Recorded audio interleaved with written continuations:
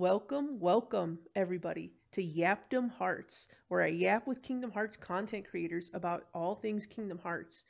And today, joined with me are my special guests, uh, MS Prime.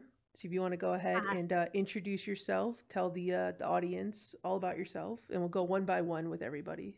My my name is M&S Prime 21, M&S or Prime, whatever have you. Um, been a Kingdom Hearts fan fan for a very long time since I first discovered it a few years after it initially released. Um, but never really got into the series officially until around 2015, late 2015. And, you know, history goes from there. Um, I'm also an artist. I love to draw. Um, I'm usually always on Twitter. Most of my friends know. I'm also my favorite character is Young Xehanort, so that's why I don't know how if you look through my Twitter or if um Brisk has something picture related on the thumbnail or whatever. Um, you see a little Xehanort on there. You know that I'm a Young Xehanort fan, so um, there's that. Yeah, You're definitely unique for that. I don't know really too many people that are fans of Young Xehanort. So you definitely take that uh, that demographic of the Young Xehanort uh, fandom. Yeah, I think I see a lot of people in Japan that are. Uh, oh, I wouldn't say a lot, but like if you look deep enough, you'll find some people into Young Xehanort. But no, they're a very small crowd. Uh, but yeah, so but our next guest, oh, who else we have here with us? We also have the one and only Swood. So Swood, if you want to go ahead and introduce yourself. Hey, what's up? Uh, I'm the real Swood. Uh, I am chronically online on Twitter, constantly talking about Kingdom Hearts and now Fallout as well. Um, I also occasionally make TikToks. Um, and I'm also the resident Terra apologist. Hashtag Terra did nothing wrong, everybody. Bless. Me too. Um, I, I've been I go either way with Terra. um, I've been playing Kingdom Hearts since the very first one. I've got a greatest hits copy of Kingdom Hearts 1 on PS2. Um, I, I saw an ad for it on Disney Channel as a kid, and I was immediately hooked. I uh, and yeah, like Nomura got got his hooks into me when I was real young, and I've been with the series ever since. I never saw the commercial for KH1. I saw the I don't know if you guys remember, but it was on Disney Channel called Disney 411 and they did a thing for Kingdom Hearts 2 before it came out. I remember that. Yeah, and I was like watch Disney Channel religiously to see when Kingdom Hearts 3 was going to come out. Little did I know it wasn't going to come out anytime soon. but going from there, we still have other guests here. So, uh we also got Oath, Oath in the building. You, s- there? So excited to be here. Um, I'm oath.jpg or oath, um, longtime Kingdom Hearts fan and first time yapper and Hey. creator of Kingdom Hearts sad edits. Oh, Um, yeah, huge, huge Kingdom Hearts Union Cross fan. Um, Yes. so I'm so excited to talk about Missing Link because I have Hell an embarrassingly amount of bookmarks saved to talk about theories and kind of seeing what other people in the beta have been talking about. So I'm excited to chat with all my favorite KH TikTokers. Heck yeah. Hey, hell yeah. I love Union Oh, Cross. oh. Oh my God. I'm so excited for. Okay, well, I'm not going to say because I want to talk about this when we get more into the topic. But oh, we have one more guest, and it is Eliza. So go ahead. The floor is yours. up. so yeah, uh, Eliza, also known as Jelly Lizzie, throughout most of the socials, um, Twitter, if I can understand it, Instagram, I'm trying to get better at, but mostly I am on TikTok, doing a bit of a hodgepodge of a lot of things. But most of my Kingdom Hearts content is relegated to cosplays, including my very favorite character, Axel Hey. my emotional support murder clown. and um, real quick, um, so I got, uh, um, so I recognized Kingdom Hearts as the combination of both Disney and Final Fantasy. Um, with the commercials, um, the ones that I remember distinctly actually are Chain of Memories for Game Boy Advance and Kingdom Hearts 2, primarily because of uh, Utada Hikaru's uh, singing. That's what really got me. Uh, Kingdom Hearts 2 in 2007. Been in the trenches of the fan base ever since. Hey. I will like to say for the record that this call has a majority of uh, Axel fans, between uh, me, Eliza, and Oath. So Axel represent. And then Love of Kelly. my life. Just- We're just missing Kelly. We're, we're just missing Kelly. She would have oogled ogled Oh my over God. Axel for the entire two five hour streams about Axel. She's currently streaming uh, Kingdom Hearts at the moment, right? I think, if I can recall. She's in the middle. Yeah. Yeah, I think Chain of Memories. I I edited it, some of her uh our Kingdom Hearts videos, and oh my god, Oh. I got the one where she met Axel for the for the first time, and it's just the whole edit is just half of it, probably more than half of it, of her just like thirsting over Axel, and so I had to Oh. sit there and just be like, all right, I'm getting every moment that Kelly is just going crazy goo goo guy, goo goo gaga over Axel, and I'm putting it together as like a Kelly simp video. I feel like every video I see from Kelly on TikTok. Yeah, yeah. I Wait, love it though. Swood, who's who's your who's your uh your favorite character? Is it Terra? Where'd he go? I'm sorry, I hit the mute button by accident on my mic. Uh, it's gonna happen. Did you go What- to darkness? Did you go to I the, the darkness of Alabama? Where'd you go? No, it was Uh, it was it was the Master of Masters' real name, and he censored himself because, or else Nomura would get to him. Nomura was in his hit squad after me. uh, yeah, has, uh, a, has a chill up his spine. He he he's already hearing. Um, he already knows who the Master of Masters is. You can ask him about it. I don't know much about it. You might look, we all saw about it. Dax's video. Okay, we all know oh that. yeah. Yeah, yeah, It was yeah. Jiminy Cricket. I know that too. um, but uh, no, my favorite character. I mean, if I had to pick one, it's probably Terra. Mhm. Um, which it's funny because I think I like all the characters that nobody else likes. Because I like Terra, I like Vexen, I like Lexaeus. Um, Uh-huh. the characters that nobody else seems to like, but I love them. Um, I also love Ventus. Um, oh yeah, Ventus. even yeah, I I I Birth by Sleep used to be my favorite. So like Ventus, Terra, Aqua, like those are probably they all honestly that whole trio is probably in my top three. Yeah, I hard to actually like that one. trio too. It's hard to pick just one though. Okay, so I'll admit a little bit of a tangent here. I actually Mhm. totally forgot I am a TikToker as well. I just don't use it that much. No, I've been uh, well, Uh, actually, I've been withholding from making content because I was waiting for a little prop, a prop of sorts to arrive, but I've waited since 2022.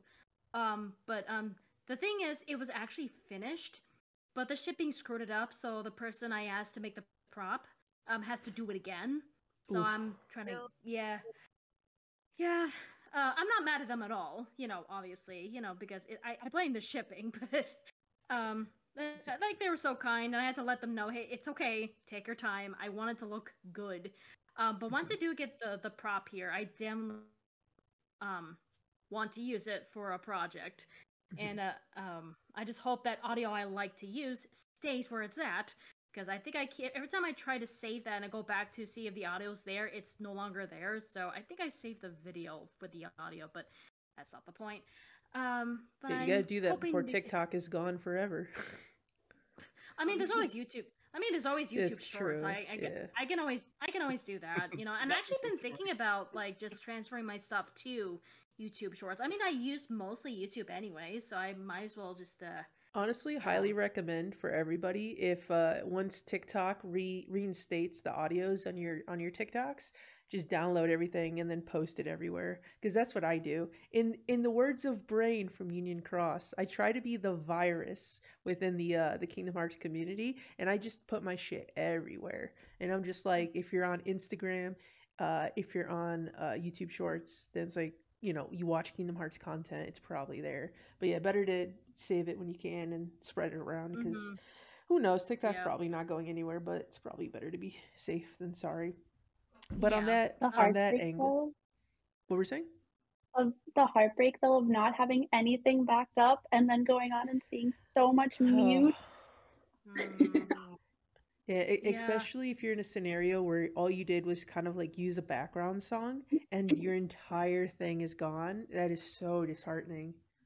Yeah, like I, I have a video that I was really proud of it, and my joke was it's from Encanto. Um, you could probably guess where this is going because Encanto songs have always been striked. Um, so I did a video where I was just like being relieved, like after Kingdom Hearts 2, and um, I was just sighing relief, and uh, and and the, it's it's the song we don't talk about Bruno, but it's the part where you know Miguel is like has this funny little walk. Um, it's that part of the song um, that I've used for that video, and it's just the organization members just walking the way that that, that fiance to be guy um, was um, uh, was dancing to or whatever. Uh, Mhm. That was muted. So and that made me very sad. I saved the Mhm. video a while back at least, but it still sucks that that video in particular just kind of went poof a little bit. At least the audio did. Well, I think they are they're renegotiating the contract, so I think everyone's audios is going to be coming back because I think all it does is TikTok just puts a mute on it. It doesn't delete. I don't think they delete your audio, but I think if they lift up the mute off the video, then um, everything should go back to normal. And I've heard that they've worked something out with UMG, so hopefully everyone's content um, Yeah. gets restored.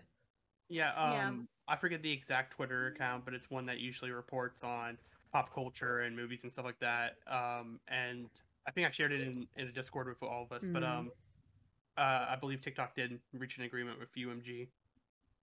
Yeah, I'm happy. I'm happy that everybody can get their stuff back, and uh, you know, w Mhm. if we continue to post on TikTok, then you know, make sure to have all of our saves, all of our videos backed up for uh, for the next uh, scenario that happens.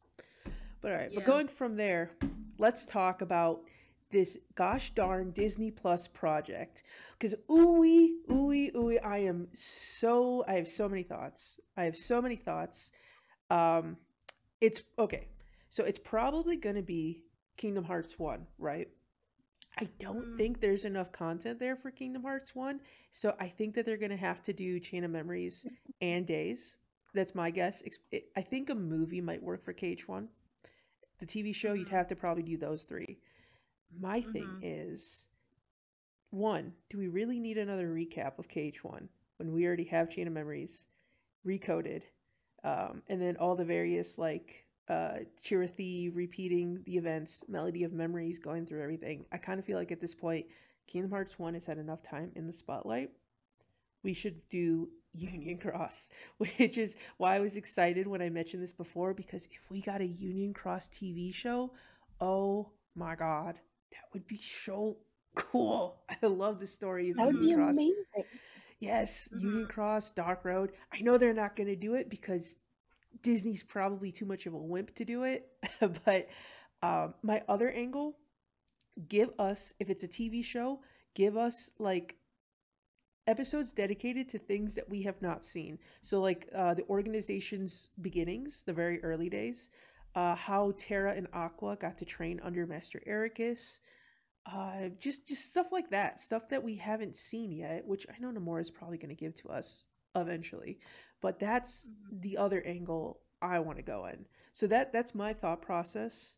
Um, I'm also concerned on how they're going to approach the subject matter. Uh, if they do it like the One Piece way, where they get somebody who knows the source material, all means, that's good. If it's just some random person being like, I don't know, Donald Duck's in here, figure it out, we'll just do whatever, then I would be very concerned. It, it would be, I don't want it to go in the direction of Avatar, uh, first movie Avatar, or like uh, the live action Dragon Ball Z movie. That's what I don't want. Um, but yeah, I'll, uh, I'll I'll open the floor if anyone else has uh, anything. Uh, actually, we'll st- we'll start with you, Swood, since you were the first one to uh, you showed interest in in uh, talking about this topic. What what are your thoughts uh, on this? And also, if anybody else wants to, you know, chime in in the middle of it too, uh, you know, go feel for, go for it. But yeah, if Swood, you got any thoughts?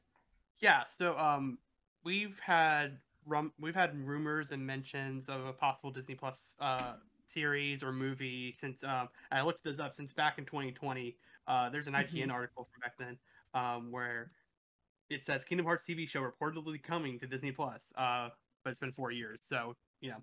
Um, It's part Anyways, the but, course. like, but um i was a film major in college so like the so i've always so i've thought about like how do you how would you even make kingdom hearts as a tv show or as a movie Um, and with the recent video game adaptations being successful, like Sonic the Hedgehog, uh, most recently Fallout, um, and the recent Mario Bros. movie, I mean, it just makes sense. It's, it feels like something that's going to happen eventually.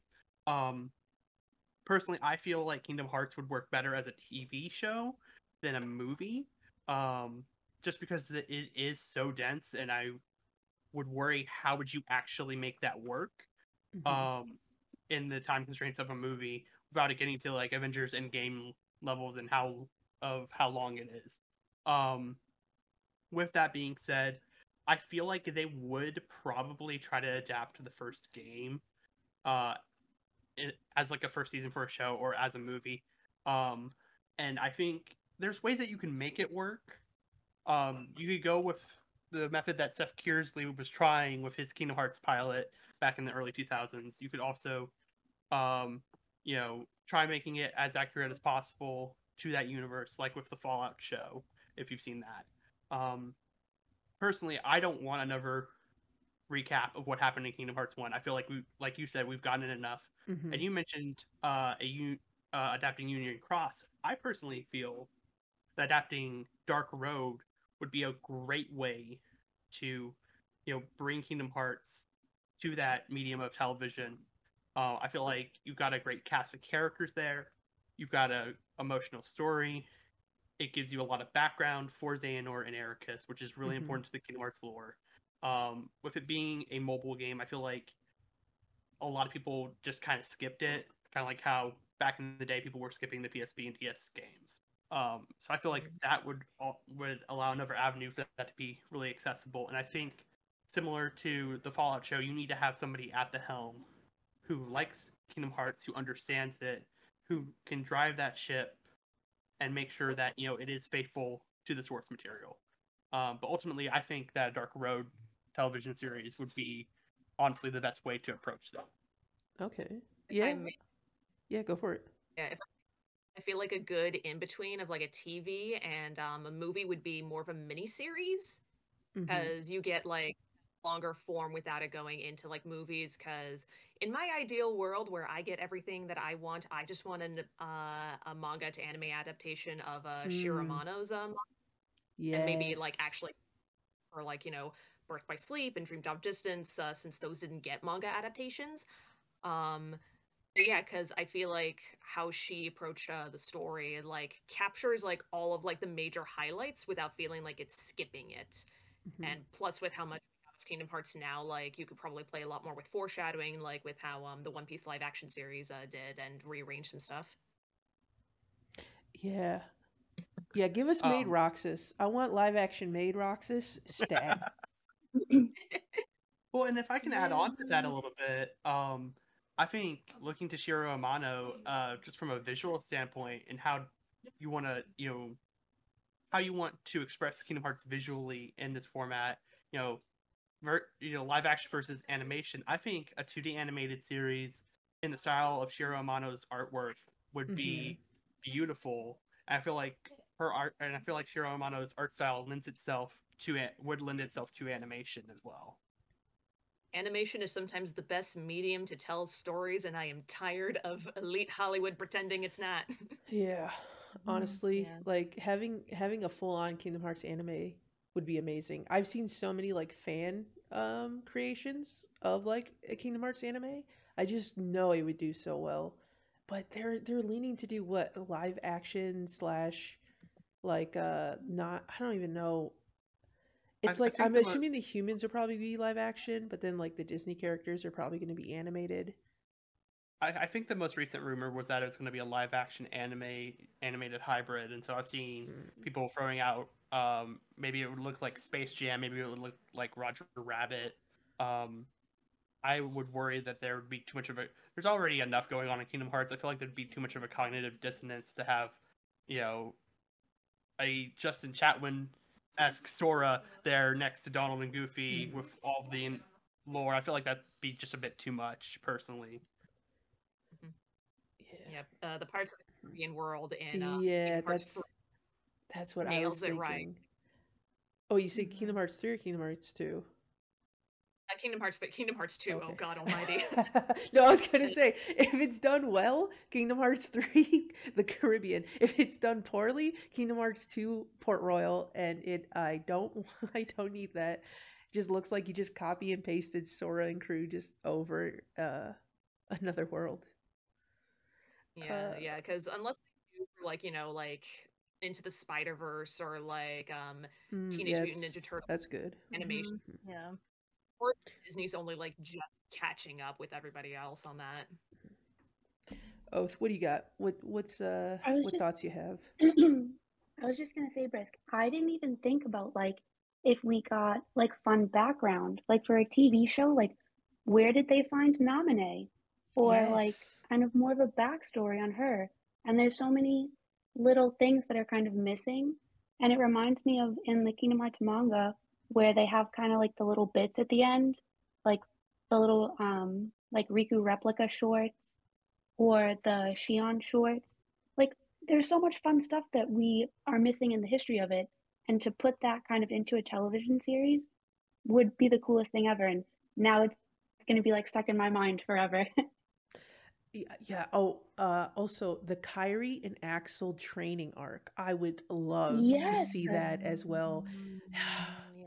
My That is God. one of my biggest disappointments uh, Mm. with Kingdom Hearts is that we never got to see Kairi and Axel train. I would love to see that, and just these little lore bits that we've never quite got.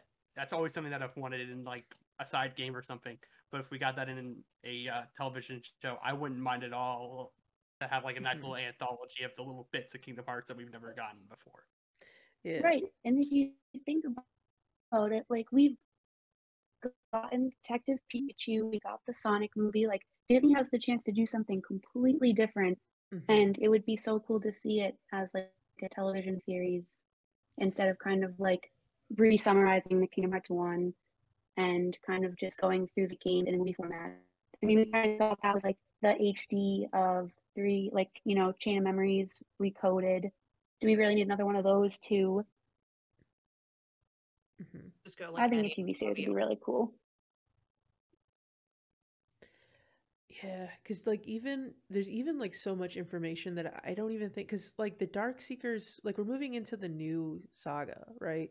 And so how much more information are we gonna get out of the current like the current story? Because I, I feel like is Missing Link supposed to be Missing Link's the last one, right? Within this saga before we move on to the next one, uh, with the start of Kingdom Hearts four. Isn't that correct, or Um, am I misremembering thought- something? I I I'm would- going to assume so, but I I don't think I call heard any concrete information about that. I, but I do think I do know Missing Link actually has ties to what to expect in Kingdom Hearts 4, and I have a feeling we'll go into Missing Link when we get to it. But that's what that's what I heard. Um, but other than that, though, I mean, we haven't heard anything. We haven't heard anything of four, so I think Missing Link, or let alone heard anything other than Missing Link. So I think Mhm. that's the best bet I could think of. That perhaps it's going to be. I I just know that Missing Link does have elements that'll tie to KH4. At least, like um, again, we'll discuss that later, I assume. But um, hmm I just know it has some ties to it. The elements, I mean. Yeah. Um, it- oh, what were you saying? Oh, I was just gonna say, uh, I was under the impression that Missing Link was part of the uh, new Lost Master saga, um, because back in 2020, um, it was announced that Kingdom Hearts was moving into its "quote-unquote" second phase, and Mhm. I believe that second phase is supposed to be the Lost Master uh, saga. So, I was under the impression that it was supposed to be part of it. It could be like a transitional title. Like it could be in that weird middle area where it's like technically the start, but it's also the end of the last one as well. Um, but yeah, I think Huh, probably whatever You new could say it's information. the link. It's the, yes, it's the link between the two sagas. Oh, it's with the uh, the big brain wordplay. I do have a tweet saved too that I had bookmarked. I don't have a source for it, but um, I do have it where it says there are 13 main Kingdom Hearts games tied to the Dark Seeker saga. hmm So Hmm. I don't know if there's Oh, and then that was Kingdom that Hearts thir- math is hard, you know. it, it it can be. Wait, is that thirteen including missing link or not including missing link? I think it's 13 including it, but I do like the idea that it would link to the next kind of phase. I guess it depends if you count back cover as an entry, because technically it's not a game. True. But... So, because I think with back cover we're at 13, but it would also be fitting because we have the imaginary number connecting the saga from one to the other. So, number 14, good old Xion. Mhm. God, Nomura in his numbers, I swear. Kingdom Hearts math. at, it- at its uh it, that could be its own class honestly go to like the kingdom hearts university and just study the uh the intricacies of the nomura math it's like girl The math but seven. yeah it's just 7 and 13 how many times can you put 7 and 13 together um okay so i have a question for each of you and that Hmm. is however we get this show or movie what is one scene you want to see regardless of whatever game it is you know? If if we get something where it's a project where say they make multiple movies of every game or they do a tv show and they eventually cover every game what is that one scene you just want to see just created in like a new light and have everybody else like experience it? So like anybody who hasn't played kingdom hearts if there's a scene you want them to see what is that scene uh, we'll start with uh, eliza you can go first if you've got one off the top of your head if not we could always jump to somebody else Uh, honestly, the first thing coming to my head is 358 over two days and Roxas kicking the shit out of Saïx. oh yeah Mm, yeah. Scene, and it's a shame that it did not get like a proper like cutscene when they re-released that. Right. We were absolutely robbed. Right, right. That uh, I feel like also from days we got to see Roxas in a stick in high definition. I just need that. Mm. Uh, Brisk, you can't steal my answer. Come on, oh, man. I'm sorry. Wait, is that really your answer, or do you have one? Uh, I was literally gonna say that as a joke. Uh, I do have Ah. another one, uh, but I'll tell you when it's my time. Okay. Well, I mean, if you want to go, yeah, go for it.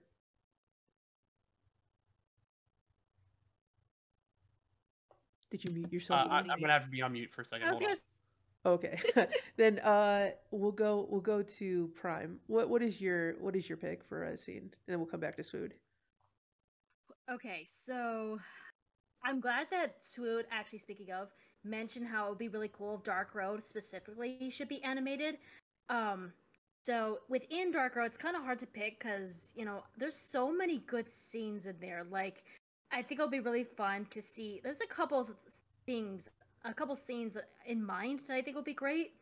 Like the first scene that pops in my head was actually Xehanort meeting the Master of Masters for the first time. Mm, And- yeah. I think it'd be really cool how they could do a few little things different. Like, you know, the best part of the Master of Masters when he kind of leans on Xehanort. Um, I think it'd be fun if he like ruffles his hair or pinches his cheek or something. I don't know. I think they could do something really fun with it. Um, but another one I want to see was when they were in Agrabah and the carpet was following the kids. Yes. And I would love how they can direct that, especially like assuming that they're going to bring back Ben Diskin. He can he knows how to do comedic timing Mhm. with his voice acting and um and I think he'll be amazing at it. I would and the thing is I never heard a single comedic line where it, it's he's genuinely funny. And and I'm not talking about for like because it's weird it's a weird line or anything. No, I mean Zaner was genuinely funny in Dark Road. And I know Ben Diskin can pull that off. He he's a pretty funny guy and I know he can pull off comedic timing Mhm. with his voice acting as Xehanort. And I think that'll be really, really fun to see how they can direct that. Yeah, no, I definitely need to see that carpet scene. That definitely was my like my favorite scene. Going back and rewatching all the Dark Road cutscenes. Um, this is the this is the current age of this is a that's a stick of that Mhm. particular game. That's that's what that's the it's a stick scene for me. And if they take that out from me, um, I would be very very unhappy. Oh, another scene that would be good. The Baldr scene when he's like going through his emotions. Oh my god, that would be so impactful to see. Oh my. Yeah. All right, before a what was that? lose it. A lot of people seem to lose it in the games, and I think any one of those scenes would work. Like especially um Union Cross when we find out what happened with Strelitzia and Ven has Yeah. his fit. That would Well, be This is Wha- why it needs to be Union Cross. This is why there's so many Uh, good moments that people just don't know about. Ventus I is was kind of gonna like. say the Sorry, go ahead, Elf. no, uh, sorry. I was gonna say the scene at the end where they join with their dream eaters is such like a beautiful, sad scene that so many people may have missed out on. Oh, Union Cross Yeah, is um, so slept on. I've- I swear. I've been thinking about uh, what scene I would choose. My initial one was a scene from Kingdom Hearts One, but as I've been thinking about it, honestly, the uh, the scene from Un- from the end of Unchained Key before it became Union Cross, um, of the actual Keyblade War, Yes. and the the player character having to fight the uh the you know masters of the different unions and just I feel like the I feel like Union Cross didn't quite hit the scale of what a full Keyblade War could be just due to being a, a mobile phone game. So I would love to see that in a show and just give it the proper scale Mhm. that uh, I felt like they were trying to achieve with that. That would be just awesome. See, this is proof is right such a here. good choice. Yeah, this is proof that Union Cross really needs to be the uh the choice that they go in. But uh, Mhm. uh Yeah, I 'cause have they two, if that's okay. you have two? Yeah, go for it. Two. My first one would be um Re:coded the cutscene where um Sora asks Roxas, "Are you gonna go back home?" And he says, "I don't know if I have one, but there's a place I'd like to be." Mm. And then when he like goes back to Sora's heart, he talks about the sunset, and I just get so emotional every time I see that. Yeah, I remember when I was posting clips, uh, you recommended that clip, and I was like, "Oh my god, I Oh. can't believe I haven't posted it already!" Like, it's such a good clip. It is such a good And clip. then um the other one is kind of niche, but it's when um Roxas finds the mansion and the dust come and they say, "We have come for you, my liege." I Mm. feel like that could be a really cool one. Yeah, that's another thing that I wish they would uh, explore more. It, why the Dusks sort of address Roxas in that way. Is that ever explained? Did I miss something? Mm, Was that in a report? No. I don't think it was ever explained, and I'm pretty sure that it only ever happens in Kingdom Hearts 2 at the very beginning, and when Sora visits Twilight Town in Kingdom Hearts 3. I Mhm. think that's the only time we ever hear any of the, uh, you know, en- uh, enemy drone uh, nobody speak. Well, because like I know there's correlations um, with the nobodies and a, a lot of the uh, organization members because they all have similar themings. If I remember correctly, a lot of those unique nobodies are based on Final Fantasy job classes, and so are Mhm. the organization members. So like you'll have like the sniper uh, nobodies with Xigbar, and the like the Reaper ones with Marluxia. I- I guess maybe they're implying that Roxas just kind of does, or kind of is connections to like the basic Just Dusks. I guess No, he so, has- but it's no, he- weird. No, Yeah. he he actually I think he has the samurai nobodies. Yeah, I I do think Oh, right, right. okay samurai. okay so uh, my, my theory I think it's just I think it's just you know because the dusks are simply just lowly nobodies and the organization is basically higher up so basically they're masters they're Mhm. they're royalty if you will um so they're just addressing Roxas as their higher up because he's part of the 13 that's why I think they call him his liege of sorts but um it, it's just somebody just addressing him as a as a superior I mean, not Mm. compared to Xemnas, of course, but Roxas is still part of the organization. He's still a higher up compared to a Dusk. Right, right. No, yeah, that it's makes sense. Yeah, that's kind of already the dynamic that they kind of have going on in the 358 over two days manga, with the Dusks also messing with Roxas from time to time. So, Mm. yeah, I feel like they're kind of like supposed to be like servants, kind of, sort of, but yeah, it's kind of mostly Yeah. just up to headcanon at some point. It just Uh, actually hold up. It just occurred to me. I just realized something. If they are to like, you know how Brisky mentioned how if by any chance should they ever like by some stretch of a miracle animate every single game somehow, Mhm. they need to explain how Riku got Kairi's Keyblade. Yes. That is Yes. a piece of lore that I have wanted to know since Yeah. Kingdom Hearts 2. Where the hell did that Keyblade come from? Because because so here's the thing too. If uh if you guys remember when Kairi and Aqua meet in Birth by Sleep, Aqua gets that Keyblade. So Mhm. the connections are there. It's just yeah, where where in the hell did Riku find it? Unless there's some like extra lore where Riku goes back to like a Hollow Bastion, or I guess yeah, it would be Hollow Bastion still at the time, and then he ends up finding it somewhere. Um, but yeah, yeah, I want to know that. Um, also, this kind of uh deviates. Actually, hold on. Before I get into this, uh, Prime, did you say what your scene is that you would want to see? Uh, Uh, you did. You did ask me what. Uh, I I did answer what I wanted to see of a scene, but I did not answer my thoughts about the animation choice, the the the confirmation, well, the rumor about the uh about Kingdom Hearts getting a movie, the live action hybrid, and um, Mhm. I did I did not express how I feel about it. So if, if it's okay with you, I yeah, I would like to express a little bit. Um, I'm not as um angry about it. Obviously, I can understand why, but I do. It, it is a little tricky to figure out. It like it, we're talking. We need to think about in a marketing standpoint. I think Swood probably has a better view on it than I could, but I, I'm gonna be the weird one. I would not mind having Kingdom Hearts one just simply because it is a starter. They just need to do something a little different from the game itself. Mhm. Um, however, it's um, I, I'm also gonna be like, if we're gonna go to Delulu Land here of like what we actually want, um, I definitely am on board with Union Cross and Dark Road, especially getting that treatment of the movie TV adaptation of sorts. Um, now, if, if I were to pick like an animation type as a choice, um, I know everyone mentioned like you know I, I am definitely on board with Shiro Amano, but I would also be open to the style similar to Avatar: The Last Airbender and Legend of Korra. I think Mhm. that would be interesting to see because you know it is the more they can lip sync English pretty well. Um, so I think it'll be really cool to replicate that.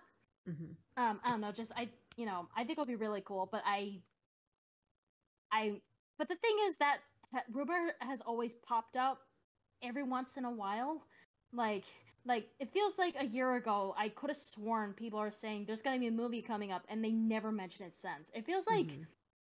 consecutively throughout the years i don't know for who knows how long it's just i'm just now that teacher from from jimmy neutron and say this is the xth time you've been in a row that you've been you said you mentioned about this kingdom hearts animation being rumored to be in the makings or whatever i just like so i'm not so sure uh, but i hear the person that quote unquote confirmed this rumor is kind of sketchy um, especially when his information is behind a paywall on Patreon that you could pay for. So I'm a little sketchy. Eh, I'm sketchy. No, he's a bit sketchy. So I'm, I'm I take that with a grain of salt. Um, but I did hear that some of his information was correct. But again, I wouldn't. I'm just gonna let fate run its course and just see what happens. But um, I'm not entirely on board with this yet.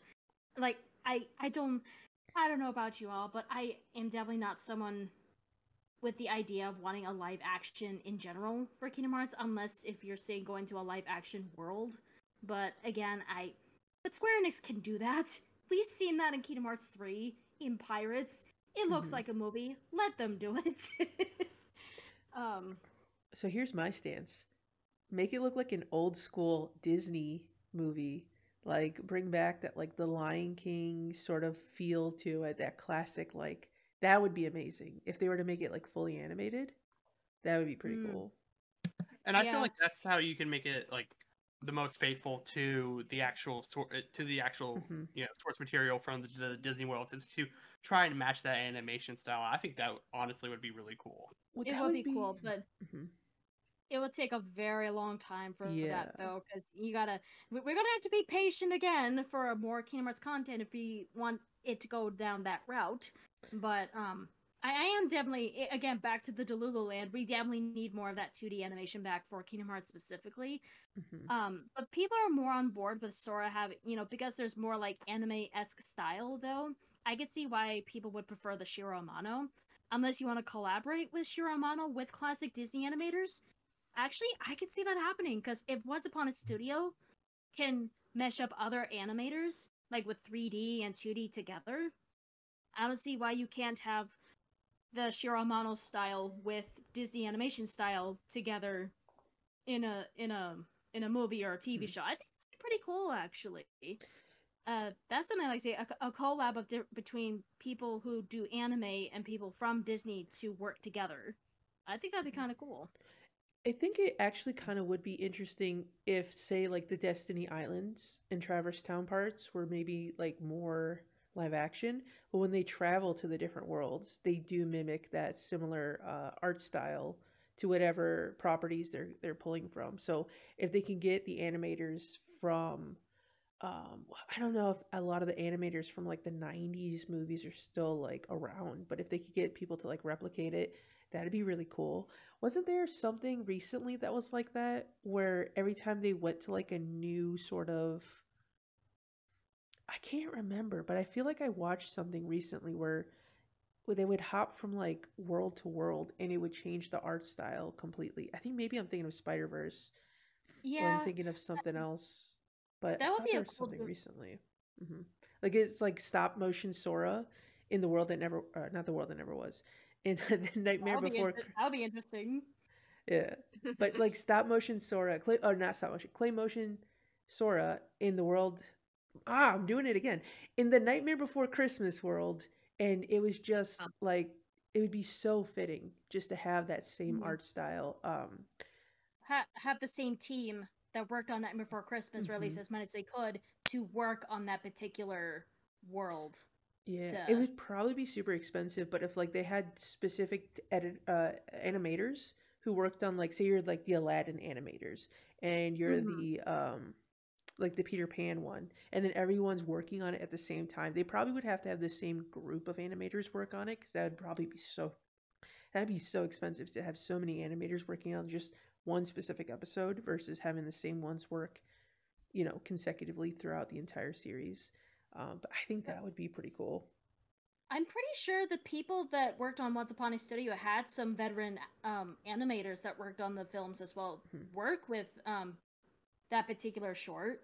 Like, for example, the guy who is responsible for the for animating the genie, who also worked on Moana as that little little mini Maui little guy. Mhm. Uh, I think he's he's still around and he can still probably pull off Genie still if he decides to go on board with this whole multi-project uh, Kingdom Hearts movie or so or show, whatever you want to call it. Ooh, yeah, each episode will be different animation styles. I think that'd be cool. Kind of like Star Yeah. Wars Visions. I think that'd be kind of neat. Yeah, and yeah. and a lot of those animators from the 90s from the renaissance era of disney a lot of them are still around now not all Yeah. of them are still working at disney so they would have to try to bring them back in but Mhm. uh just uh the first ones that come to mind um i saw a video from corridor crew uh where they brought in uh, an old animator from disney and he was the guy who animated mushu in the in mulan Mhm. um, and I believe Henry Selick, who was the one who actually directed Nightmare Before Christmas, uh, I believe he's still out there making movies as well. Uh, I think he had a movie come out on Netflix a year or two ago. Um, so Uh, a lot of these, yeah, so a lot of these old animators are still around.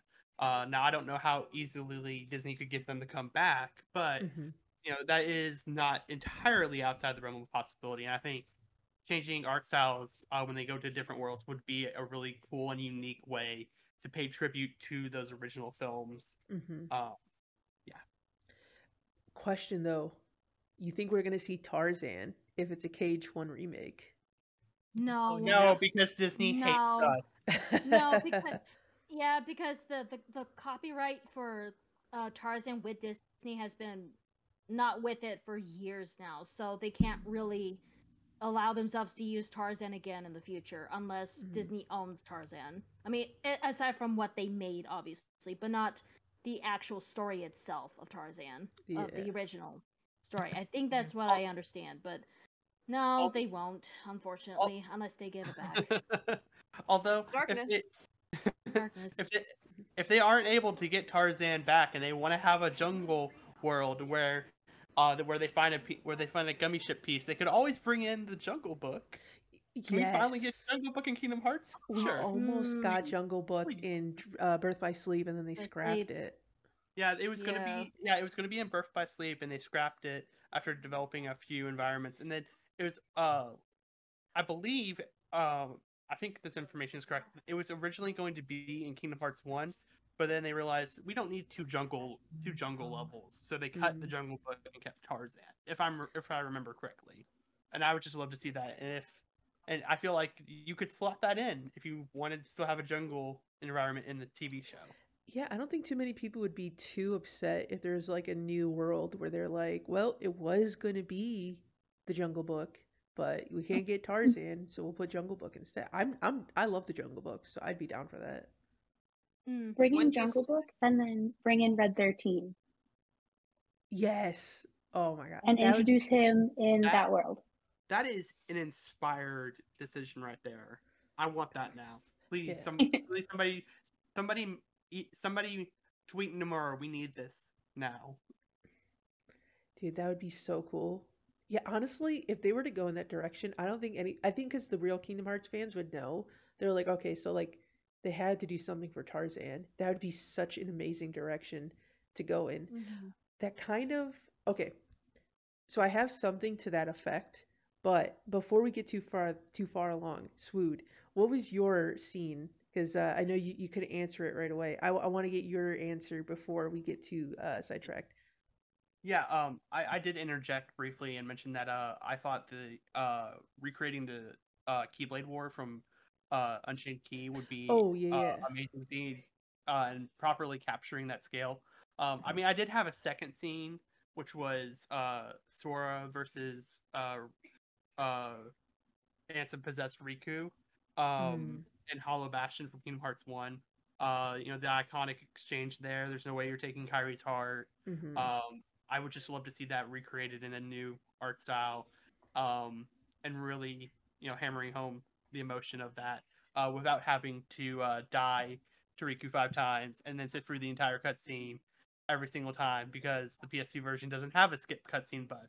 yeah. So, Dude, that'd be so funny if they made a reference to that in that scene where just like he like Ansem is just talking and talking and somebody's like like I don't know, Jiminy Crick would be like, Boy, sure would be nice if I could just skip this dialogue right here. I know that'll never happen, but that'd be like such a funny like inside joke. Um Mm. okay. I, I yeah. feel I feel like if it was on streaming, you can make a really fun meta joke like Mhm. that. But then I feel like you're veering too far into something that isn't quite Yeah. Kingdom Hearts if you get too meta like that.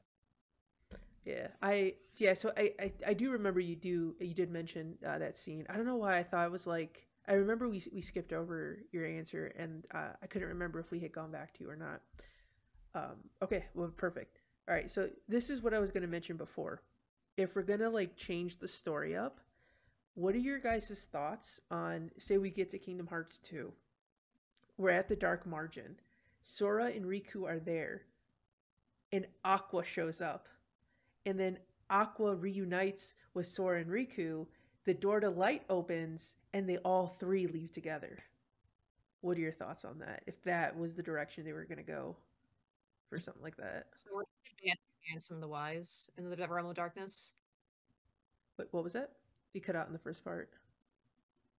So we're just abandoning Ansem the Wise in the Realm of Darkness. Yeah, I mean, do we really need Ansem the Wise? You know, he's going to get Yeah, kidnapped by stay there. Later on. So, yeah, we But don't. He's fine. He doesn't need a friend.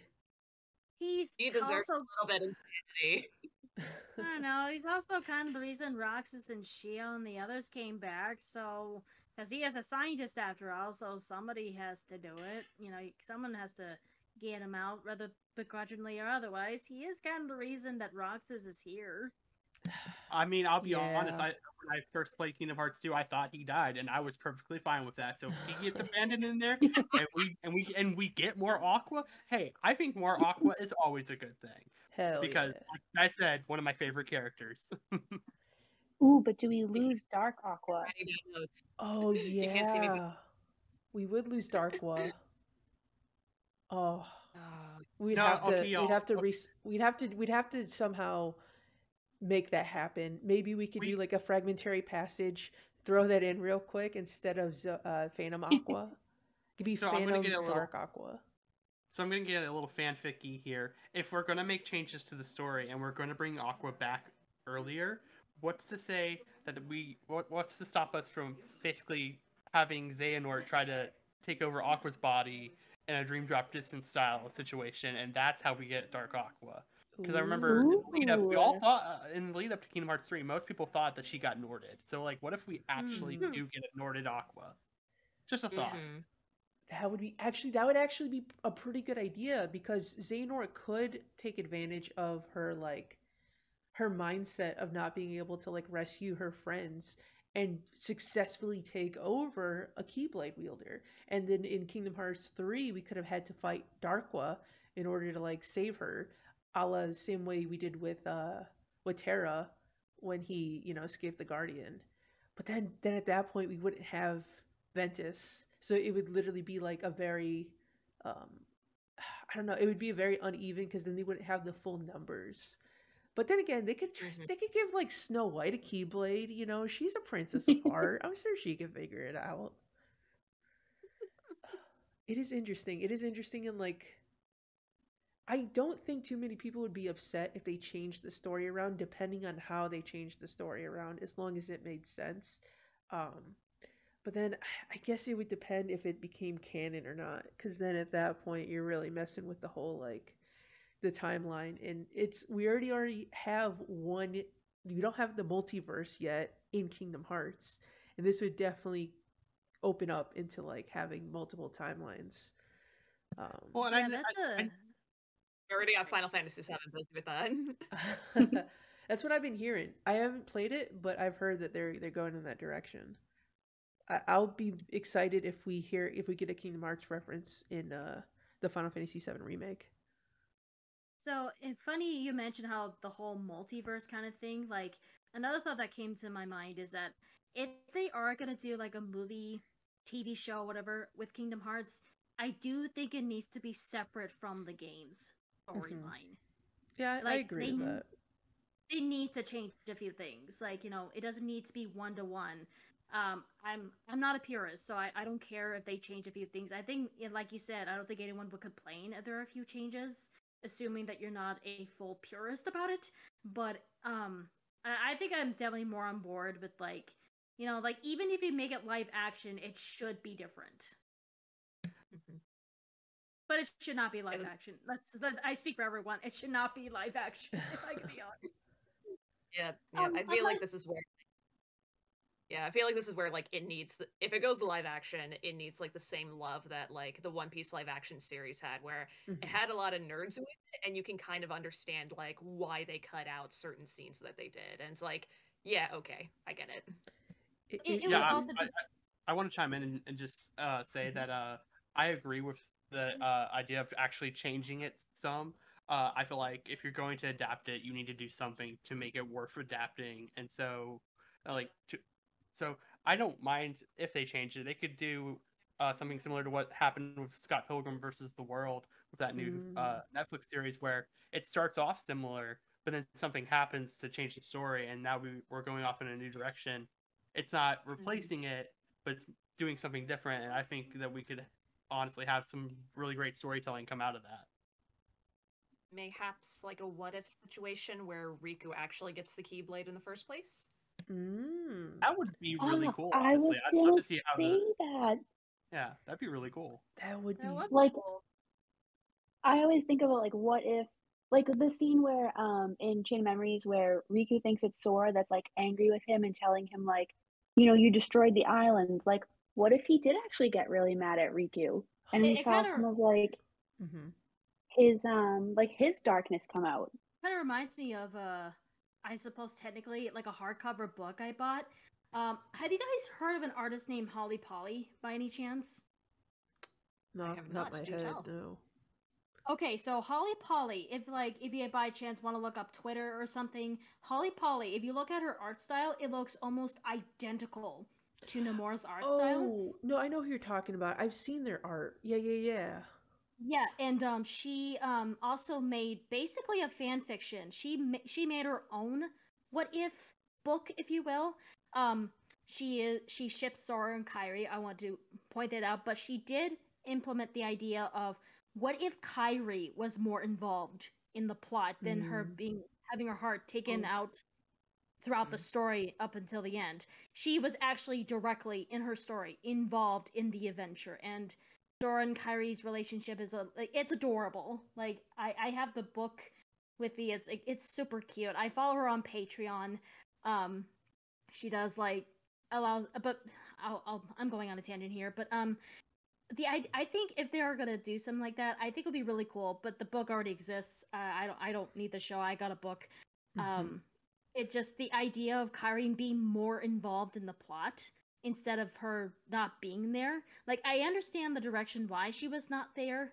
I, I think it's a really good twist, but I do, I I think, but I've already seen complaints time and time again that Kairi needs to do something, and she has shown like both her strengths and weaknesses in the fan fiction. Um, and I think it'll be really cool for them to implement that should they decide to give the direction of Kairi having more relevance physically in the plot. I mean, I'm not Ooh, against more Chris, Kairi can I, screen time. uh, Oh, was that? Can Yeah, backtrack Yeah, if we can. Go ahead. I totally want to see the or hear the conversation that Riku and Kairi had, where he had to bring him to bring her to the mysterious tower. Oh, when you, yeah. um, Yeah, Oh my god, there's so many. Because even when you were saying like there could be so many like variations, it started getting me thinking of like I would a what if definitely needs to happen. I feel like a what if version of Kingdom Hearts is like something that if this first attempt does well, they could do um, like later on when more people are like more aware of what Kingdom Hearts is. I feel like a lot of people know what Kingdom Hearts is, but there's obviously the bigger population that probably has no idea. Um, but Swood, what were you uh, saying before? Oh, me? Um, what?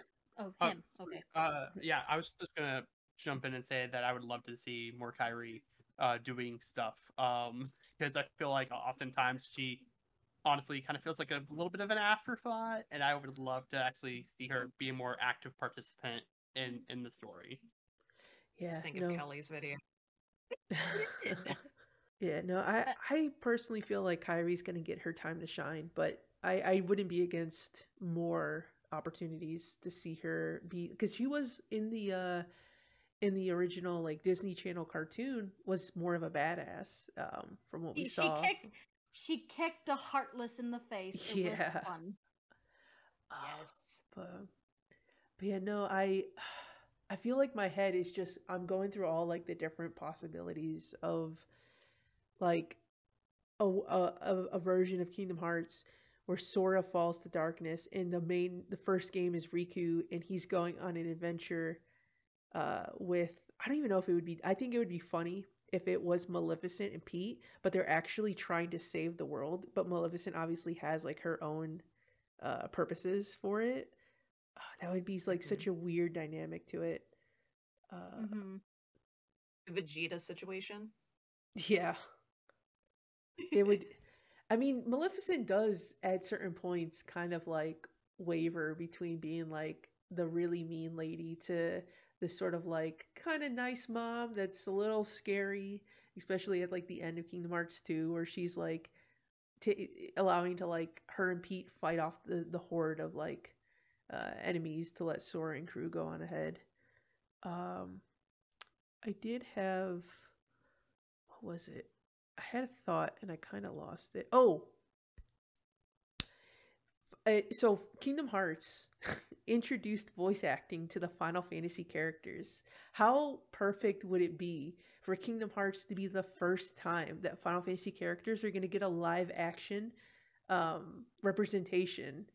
It's like they can't even they can't even do it in their own like. There's no live action Final Fantasy Seven because I mean we got Advent Children as a movie, but like how perfect would it be to see like live action Cloud and Yuffie and Leon in a Kingdom Hearts series. Like that's just like you want it. Well, there's Kingdom Hearts.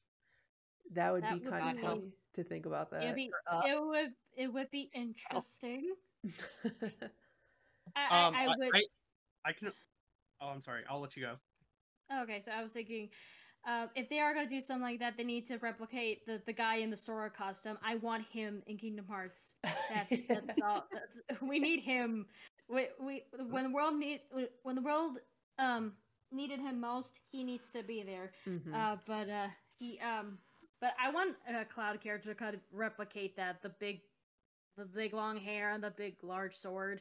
Um, Mhm. but yeah, I th- if they're gonna do like a proper live action Final Fantasy, let them do a proper live action Final Fantasy and original first. But it would be pretty funny to see. Well, no, technically, have you guys seen that funny skit? Like some, I don't know if it was at an award show or not, but there was like, it was a stage of sorts, and there's this kid.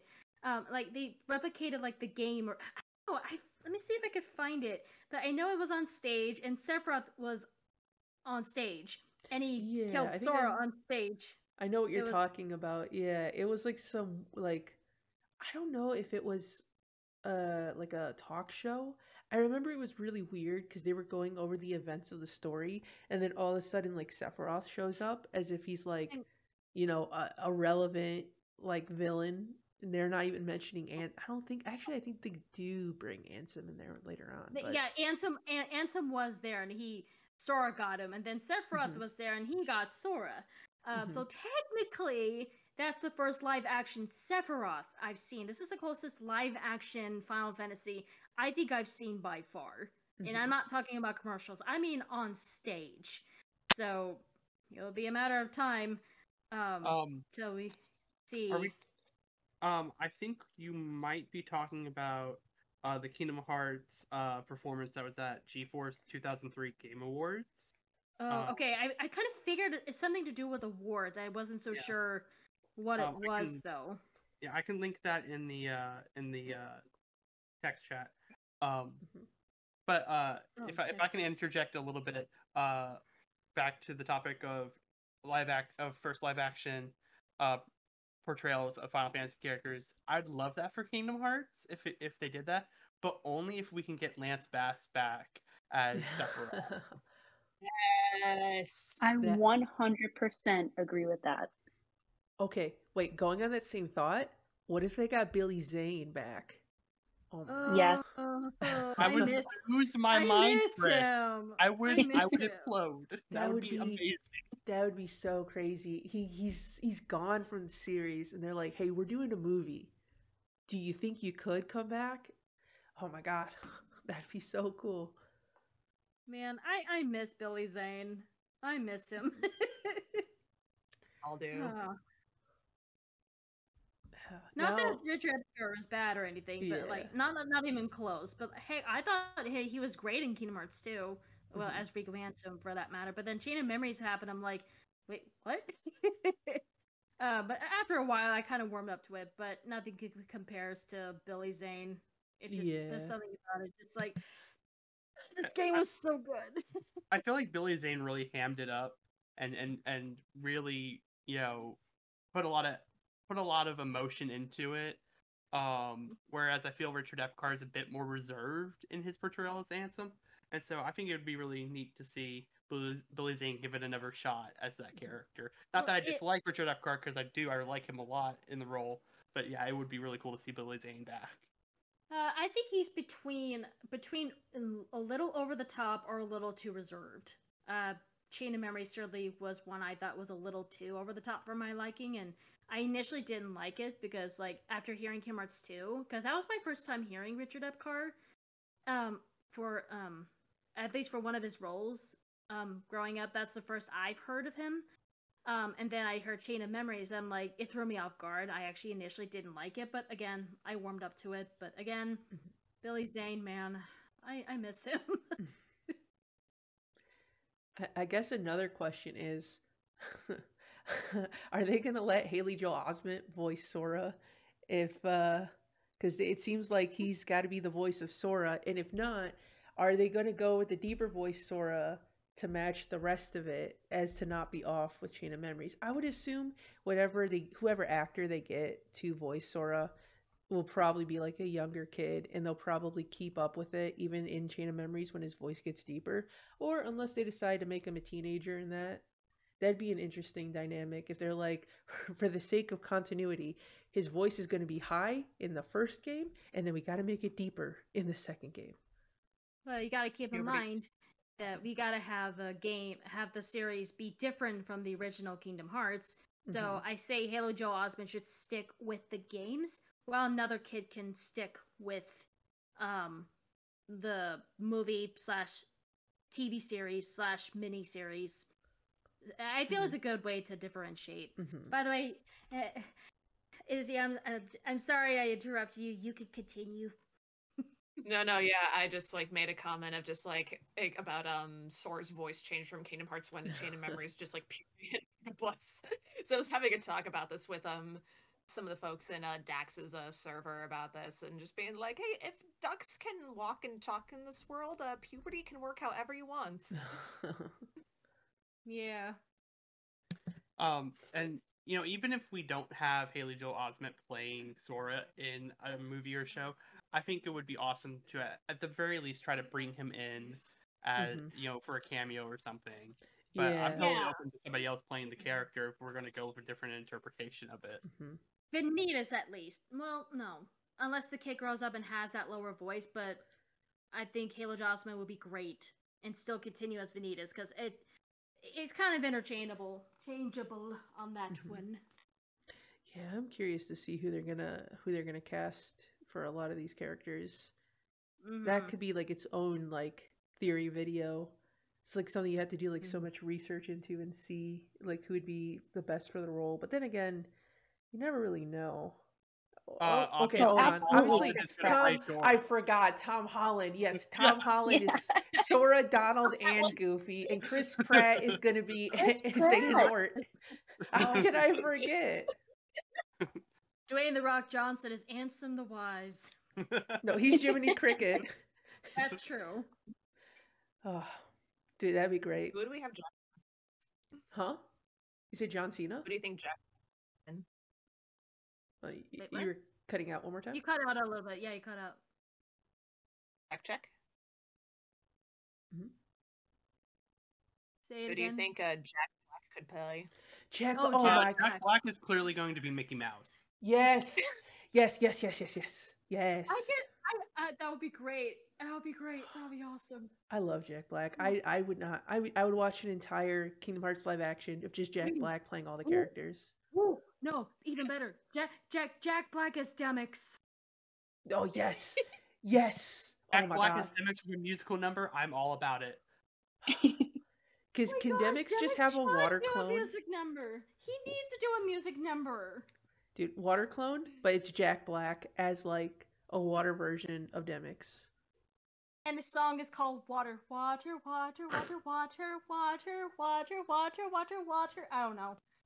That'll be fun. I can hear it in his voice, and I think that's genius. I think we're cooking on something here. Yeah, dude, they gotta I mean- hire us. Like we gotta be on that set.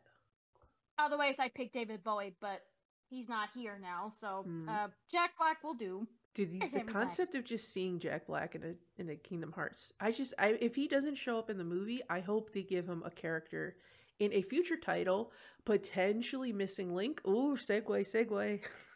Oh, um, but yeah, so I, I think we've I think we've pretty much covered the base enough on the TV series. I think most of us want to see Union Cross. Um, we're down to any changes as long as they're good. If it's an anime, definitely the manga style. I agree with all of our opinions. You guys all have great opinions. Get the brisk stamp of approval. But now the other part of this conversation, missing link. We got the new wave of information, and Oath Finally. said that Oath, uh, you had a bunch of uh, book things bookmarked. So, so Oh lay it on us. so many. What do you got? What do you got for us? Oh, I don't even know where to start. I think I'll start with Nept. I liked Mm. seeing um, this new character, but I also liked seeing in the ways they related to Aqua. It Yeah. looked Yeah, like there were some cutscenes um, where like Nept was looking up at the stars, kind of like mirroring the cutscene with Aqua and Ventus when they were at the mysterious tower. The blue hair is an obvious giveaway as well. Mm-hmm.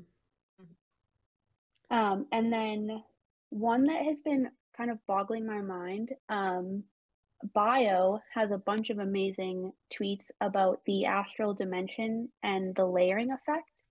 So there's kind of the conversation of was that the quadratum that we really visited in the battle between Sora and Yozora, or was it the astral dimension? So technically, we haven't really been to quadratum. Yeah, I, I've, I've, I think I know what you're talking about. I think I've seen that already. I, hmm that kind of Yeah. blew my mind. I'm like, holy cow! I, ah, there's still so much we don't know. That's just so I exciting about this about this new arc. Like with Kingdom Hearts 3, we're we already have this idea just based on the elements we are given, like the games we're given. We're getting an idea of what to expect in Kingdom Hearts 3. We don't know what to expect to Kingdom or we don't know what to expect for Kingdom Hearts 4 Mhm. and we're practically in the dark literally so it's um it's very exciting to see and, and again i also mentioned earlier that missing link i heard is confirmed to to actually have information that will tie with what to expect in kingdom hearts 4 and and i think that astral projection is one of them and It- i think would- they mentioned Oh, go on. like- go on. yeah, so like um that portal where the Heartless came out in in that cutscene in Missing Link, um on Remus and the player, um that I someone theorized that same portal happened in Quadratum in the Kingdom Hearts 4 trailer when the dark side came out of that um little thing. Mm. So that's just a theory, of course, but it's uh um it is intriguing. It, it it is too close for comfort at the moment since we literally have this is like our bits of this is our bread. We're eating this bread. This is all we got. The you know? crumbs. Crumbs. Morsel. I was gonna say though, there was that there was a line in um that fight with Yozora that always interested me, which was, "Why do you look like Sora?" Which implies Mm. that it's like Yozora or whoever might be taking on the appearance of Yozora knows who Sora is as because I mean, who knows? In like the real Quadratum, maybe the concept of like a video game called Kingdom Hearts exists, and whatever astral plane the person um, putting on the persona of Yozora is being is also like confused. It's like, how is Sora here? Like, what's what's Sora doing here as like a character in this like realm or something? Um, that was always something that was like food for thought. Um, I don't really have much to go off of it. That was always just something where I'm like, I wonder what more they're gonna do with that. You know, if uh, if the Yozora we met was actually Yozora or not. But Yeah. I Um. uh could have sorry i could have sworn i've heard uh, like there was a theory surrounding this like potentially the person that asked yozora assuming that it is like yozora um is wondering i, I kind of wonder if the person that talked to yozora saying you know um the person that told him to save sora uh, i think i could be wrong. I i must have misread it but it could be um there's like many theories of like who it could be. Like it could be the master of masters and uh, another that, that just popped in my head. I don't i you know take this with a grain of salt. Don't take it that seriously. But i think it could be darkness that could take form Mm. as a sora like um and maybe that is one of the the one of the stronger darknesses in um one of the seven darknesses in union cross but again i don't know because i no that can't be because the seven are trapped in the the um, four, four towers. towers. Yeah. yeah so um but it could be like a darkness manifested the same way that happened with Baldr but with someone else i really don't know Mhm. but maybe I don't know, but I could see that. But I, I could have sworn I someone I saw a theory relating that it could be darkness imposing as a Sora, but I don't know if it's. I, I don't I don't know. It's just something I've heard once somewhere. But again, take that with a grain of salt. Um. Kind of going back. I, I just wanted to uh chime in. Go for Going it. back to um to the concept of the astral plane and the heartless entering through portals. Um, I feel like we've kind of seen um in, in regards to sort of an astral projection and people appearing to be different from how they actually are.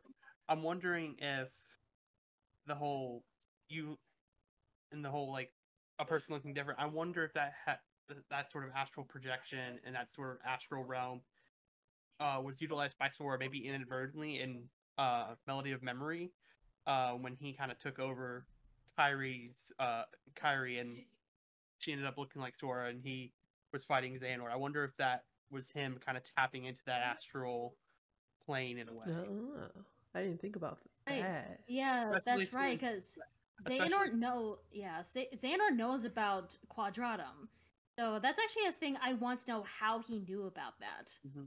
Well, and and I think that's a possibility as well because that did happen in the final world, which is sort of an in between place between uh, reality and unreality. Mhm. Um, because I mean, Riku had to go there uh, so that he could even access Quadratum. So I feel like that's a strong possibility as well. I have a fun bookmark uh, that kind of goes off of that by Titan, where it's two screenshots um, from Freya where they say, Let's see, how can I put this? In essence, it's a world made up of mental energies. The astral dimension is swirling with emotions and memories. And then it cuts to a um, clip from Chain of Memories, where in the journal it says um, Castle Ob- Oblivion consists of 13 floors above and 12 floors below ground with the content of its white rooms, transforming in response to its visitors' memories. And Organization 13 was conducting experiments on memory here. So, kind of connecting like the astral plane to the white rooms, where kind of the area transforms by its inhabitants' kind of memories and feelings. Hmm. Yeah, I, I Yeah. think that kind of helps lend to the idea of sort of tapping into that astral plane as well. Because while that fight did, while that fight between Sora and Kairi against Master Xehanort in Melody Memories was in the final world, it was also connected to Kairi's memories as well. So I feel like that just kind of lends more credence to that idea. I'm trying to also think of because I, well, we know obviously Naminé can you N- Naminé is primarily on Sora's memories, right? That's like her whole shtick. But I wonder if Yeah. she can tap in to like other people's memories if maybe she hasn't like fully like unlocked it and what if that might have some sort of connection to like their way into like this sort of astral plane through kind kind of the way how Sora was able to connect to Kairi uh, in Melody of Memories. If there's something that Naminé can unlock to allow like almost like a I don't even know if you would necessarily be able to travel. Maybe she could. Maybe that's like the next like final form uh not Kairi, final form Naminé where she like is able to enter the astral plane via the chain of memories uh, of other people via the astral plane. Because that would be pretty cool because to be honest Naminé should have had a bigger role in melody of memories. If you're gonna have a game about memories you gotta have Naminé but Yeah. if Naminé's out here traveling the astral planes via uh memories to be able to like find sora then it's like all right. And for all we know maybe she was able to like access that um space when she was in the final world as a star. You know she there was like a period of she could have been doing anything. So she could have stumbled upon it. Uh it could have maybe unlocked something.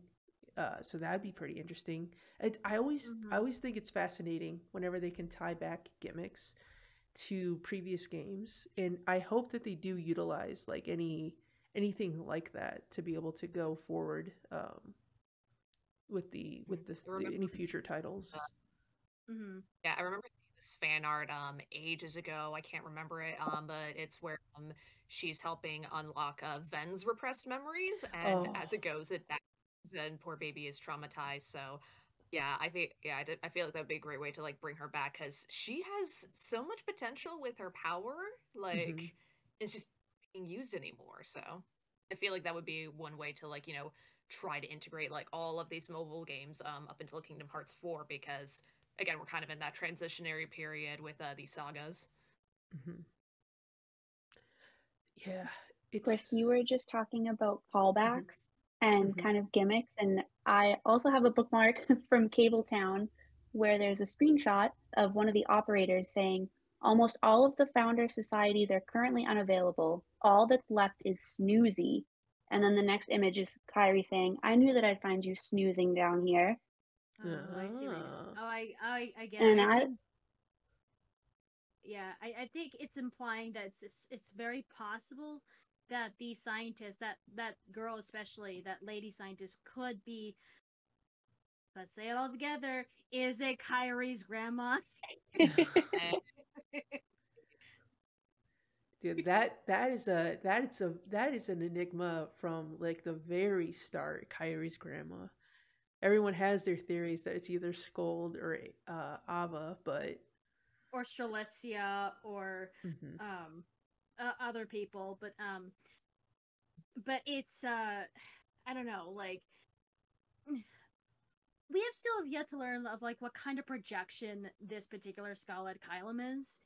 Um i think especially considering how like i'm not so sure how far back in the past before xehanort's time is um because i do know that xehanort's mother um is connected to Skuld it's confirmed but we don't know how far back Skuld mm-hmm. would be uh, because she she was somewhere and apparently Subject X is Skuld and then you know Xigbar, Braig, Luxu got her out and who knows where she's at. I don't know if he sent her back in time.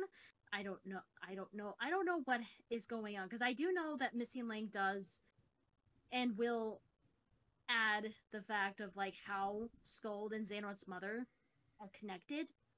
So, and that's uh, and that actually brings me to another thought, because again, I don't know how far back it is, um, but I have this theory that, and I've been thinking about this, and I'm still holding on to this, and I won't, it won't hurt my feelings if it doesn't, but I think the player character in Missing Link, I don't think it's the same player from Union Cross. no, really. That that is Ooh. yeah, that is a thought I had because I don't know how else you can tie because this is it feels like it's still the same Scala where you know where Xehanort's mother gave away baby Xehanort. So I don't again, but I don't know because you know Kingdom Hearts they're not exactly they don't set the time like they Yeah, don't say what, where it is. Yeah, we, we, it's it's it's the year of Nomura math, yes. So we, we just have to stick with like how many years later, but not really a specific time. We just know there's a 10 year gap between Kingdom Hearts Birth by Sleep and the first Kingdom Hearts 1. Mhm. I said first Kingdom Hearts 1, there's whatever. Um but um now do do keep in mind it does seem like they are telling the player that this is our player because he has or they have the rusted keyblade from from Union Cross, but again, even that's Mhm. pretty vague. It's a matter of like they know how to wield a keyblade, but it's still a matter of like there's a lot of more mystery about this particular player character, rather not it's the same from Union Cross or otherwise. So I I like the idea that it isn't the same player and the player from Union Cross could be one of the founders. I mean, it's possible because they really threw us for a loop at the end of uh of Union Cross and Dark Road. when at the end of Union Cross, we all thought we were Xehanort, and then at the end of Dark Road, Mm. we're like, we were not Xehanort at all. So for them we to raised pull, the baby. We raised the baby. We changed his diapers. We've seen it all. We've seen him poop and cry and scream. We we were there. but yeah, but no, no. it's it's definitely a very Nomura thing to just make us believe one thing, and then we go all this time playing this game, and then it's like, nope, you were completely off. Yeah, yeah. So I'm I'm I say I I I can't speak for everybody, but I'm keeping an eye out on player character because I have my doubts, you know. But again, some people have already theorized like, um, actually speaking of missing link as well, uh, we come across these two figures with white hair watching the watching over these um people from the Baroque Society, the the low life of the, the group, and I say the non ephemer bloodline people. Um, that's something we got to keep in mind of with this because it's all about societies and how they're split. And the the people with white hair, people have already thought of like who they could be, and they could be named after Odin's ravens in in um Oh. Norse mythology, I think. could have sworn I've seen that somewhere, but I do know people theorize that the two that watched over them, the white hair, the remnants from Advent Children, um, Yazoo and uh, freaking what's his name, Loz. Um, Yeah. but they but they could be named after Odin's ravens, if I can recall. Meaning, it's very possible what they believe, what fans are believing, is that we might meet a young Odin at this point. Now, if we see a young Odin, then that's where I say, okay, I I'll, I'll completely throw it off the bag here and just believe that this is the same one somehow reincarnated. But again, I'm keeping an eye out, keeping an eye out on the player character just to be Mhm. safe in case that it isn't the same person because we don't know who the founders are yet. So, and we're in the beginning stage anyway, so we of course we won't know.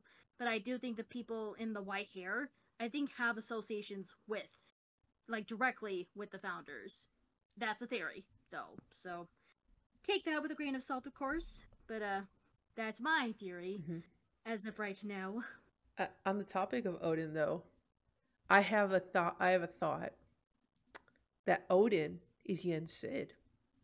I don't know how viable that thought is, but it goes to uh, it goes hand. It, it kind of goes hand in hand because Eraqus mentioned how Yen Sid trained alongside himself and Xehanort, and it's like the only time we saw any sort of involvement in training with Xehanort and Eraqus was in Dark Road, and there was a man with a long beard, and Yen Mhm. Sid also has a uh, long beard. And then at the end of Dark Road, they're like, "Oh, Master Odin went to go live off somewhere on his own." What you're kind of what Yen Sid Well, is doing. Well, and yeah. you know, Odin, at least to me, looked like he had like a little bit of a wizard vibe going on. Mhm. Uh, Mhm. so like I can I can honestly see that if if those two characters are in fact the actually the same because Yen Sid's a wizard, Odin kind of had a wizard like appearance. I think I Mhm. think that's a viable theory right there. yeah, But Disney will not. Yeah, but If Disney Lucy- will not allow them to admit it though. So who knows what will happen? Mm.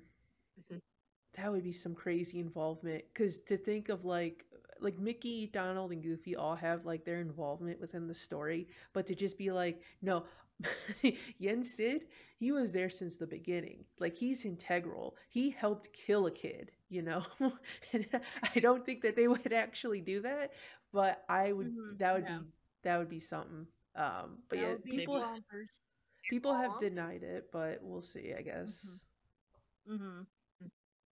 Yeah, speaking of like Donald and Goofy, um, I'm just thinking back to like um your episode with uh Dax and um that them and Mickey are like in Quadratum. Like, so how do you think that that could like tie into like Kingdom Hearts 4 and like could we see them maybe in Missing Link trying to research where they could find Sora? Mm-hmm. I, I guess it really depends on how Missing Link is being interpreted. So in that episode, I talked about how Mickey is on a mission to find the Book of Prophecies, and that he puts Hmm. it in Jiminy's, uh, not Jiminy, Chippendale's machine back in Disney Castle, and that Mickey is the one that kind of uh, goes through the events of Union Cross and is able to retell them to Y- Yen Sid and the rest. It also explains why Mickey was in the book along with Donald, Goofy, Chip, and Dale Mm-hmm. because they have the ability to access the book. Now, if the the book of prophecies also talks about missing link, it is possible that they could be involved in some way, shape, or form because Mickey. Now, correct me if I'm wrong. Has been in like almost every game, with the exception of Dark Road. Obviously, Mickey's not in Dark Road, um, unless you Dark- count. I'm sure there was like a Mickey card or something. But Mickey's had involvement in like every game. I'm trying to think. Even if he wasn't directly like involved with the story, like in Days, he was still like that scene where he was talking to um, Riku in the Twilight um, Twilight Town Forest, or He was always doing some missions in the background that we don't always know. So, I mean, it's possible they got to shoehorn Mickey in there somewhere.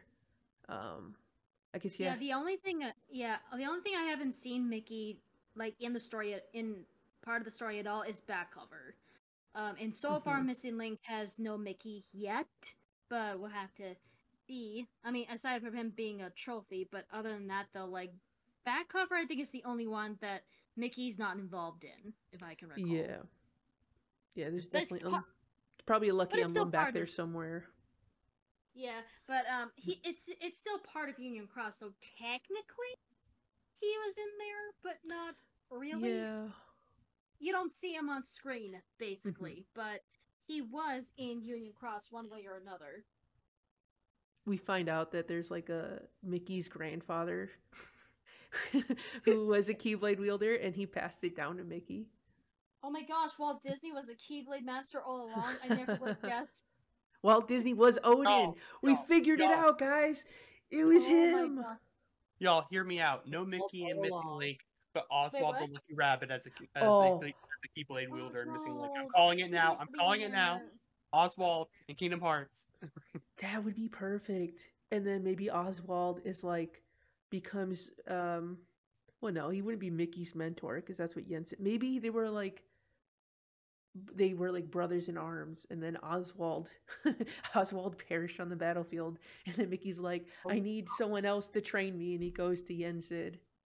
Look, if you want ideas on how to implement Oswald into Kingdom Hearts, I've been thinking about this for the past Mhm. decade, and I've got like at least four ways that we can do it. Tell us, But- please tell us. that that's maybe for a different episode. yeah, Alright. the, the Oswald episode. Um, do you have Isn't any more Epic Mickey bookmarks? getting a remaster too? Yeah, yeah, they are actually. Um, I don't know. is it wonder what both the timing of that. Hmm. I would be. It would be interesting to see if it had any sort of connections. Um, because wasn't there how many Epic Mickey games? Was there two or three of them? I think it's think just two. Was there two? Yeah, I think it's- okay. yeah, yeah, Yeah. it's it's just two. Uh, and then they're remaking the first one. Well, Hmm. I got. I've never I- got around to playing them. I definitely should when they remake them for the Switch, right? Or is it for Yeah. whatever new Switch is Well, coming out? um, it's it's it's for the Switch, and then I think it's also coming to uh, PS5 and Xbox. Oh um, right, yeah, because it Oh, wasn't a really? Nintendo exclusive. I forgot. I, I I believe so. Yeah, it Um, was it was a Wii uh it was a Wii game. Yeah, which I Epic Mickey with actually good camera control. I'm all for that. So Hmm. And honestly, I killed to see Oswald in, in Kingdom Hearts in hoping that Frank Welker reprises his role as Oswald, like it did in Epic Mickey. Mhm. That would be good enough for me. That would be amazing. I I honestly cannot imagine a better voice for Oswald. Honestly, like it, I I met Frank Welker, and I think it'll, it'll just make it even more epic, especially because I met him in person years ago. In fact, me, hit, meeting Frank Welker and Peter Cullen is actually the same place I met them in a in a con. Is where I saw that crap a crappy rendition of a Keyblade, and that's what prompted me to continue with Kingdom Hearts in the first place. So technically, I Mhm. gotta thank the voices of Optimus and Megatron for that. So yay! Anyway, that's not the point. Uh, Oswald and Kingdom Hearts would be great. That's all I'm trying to say. uh, Oath, you got any more bookmarks?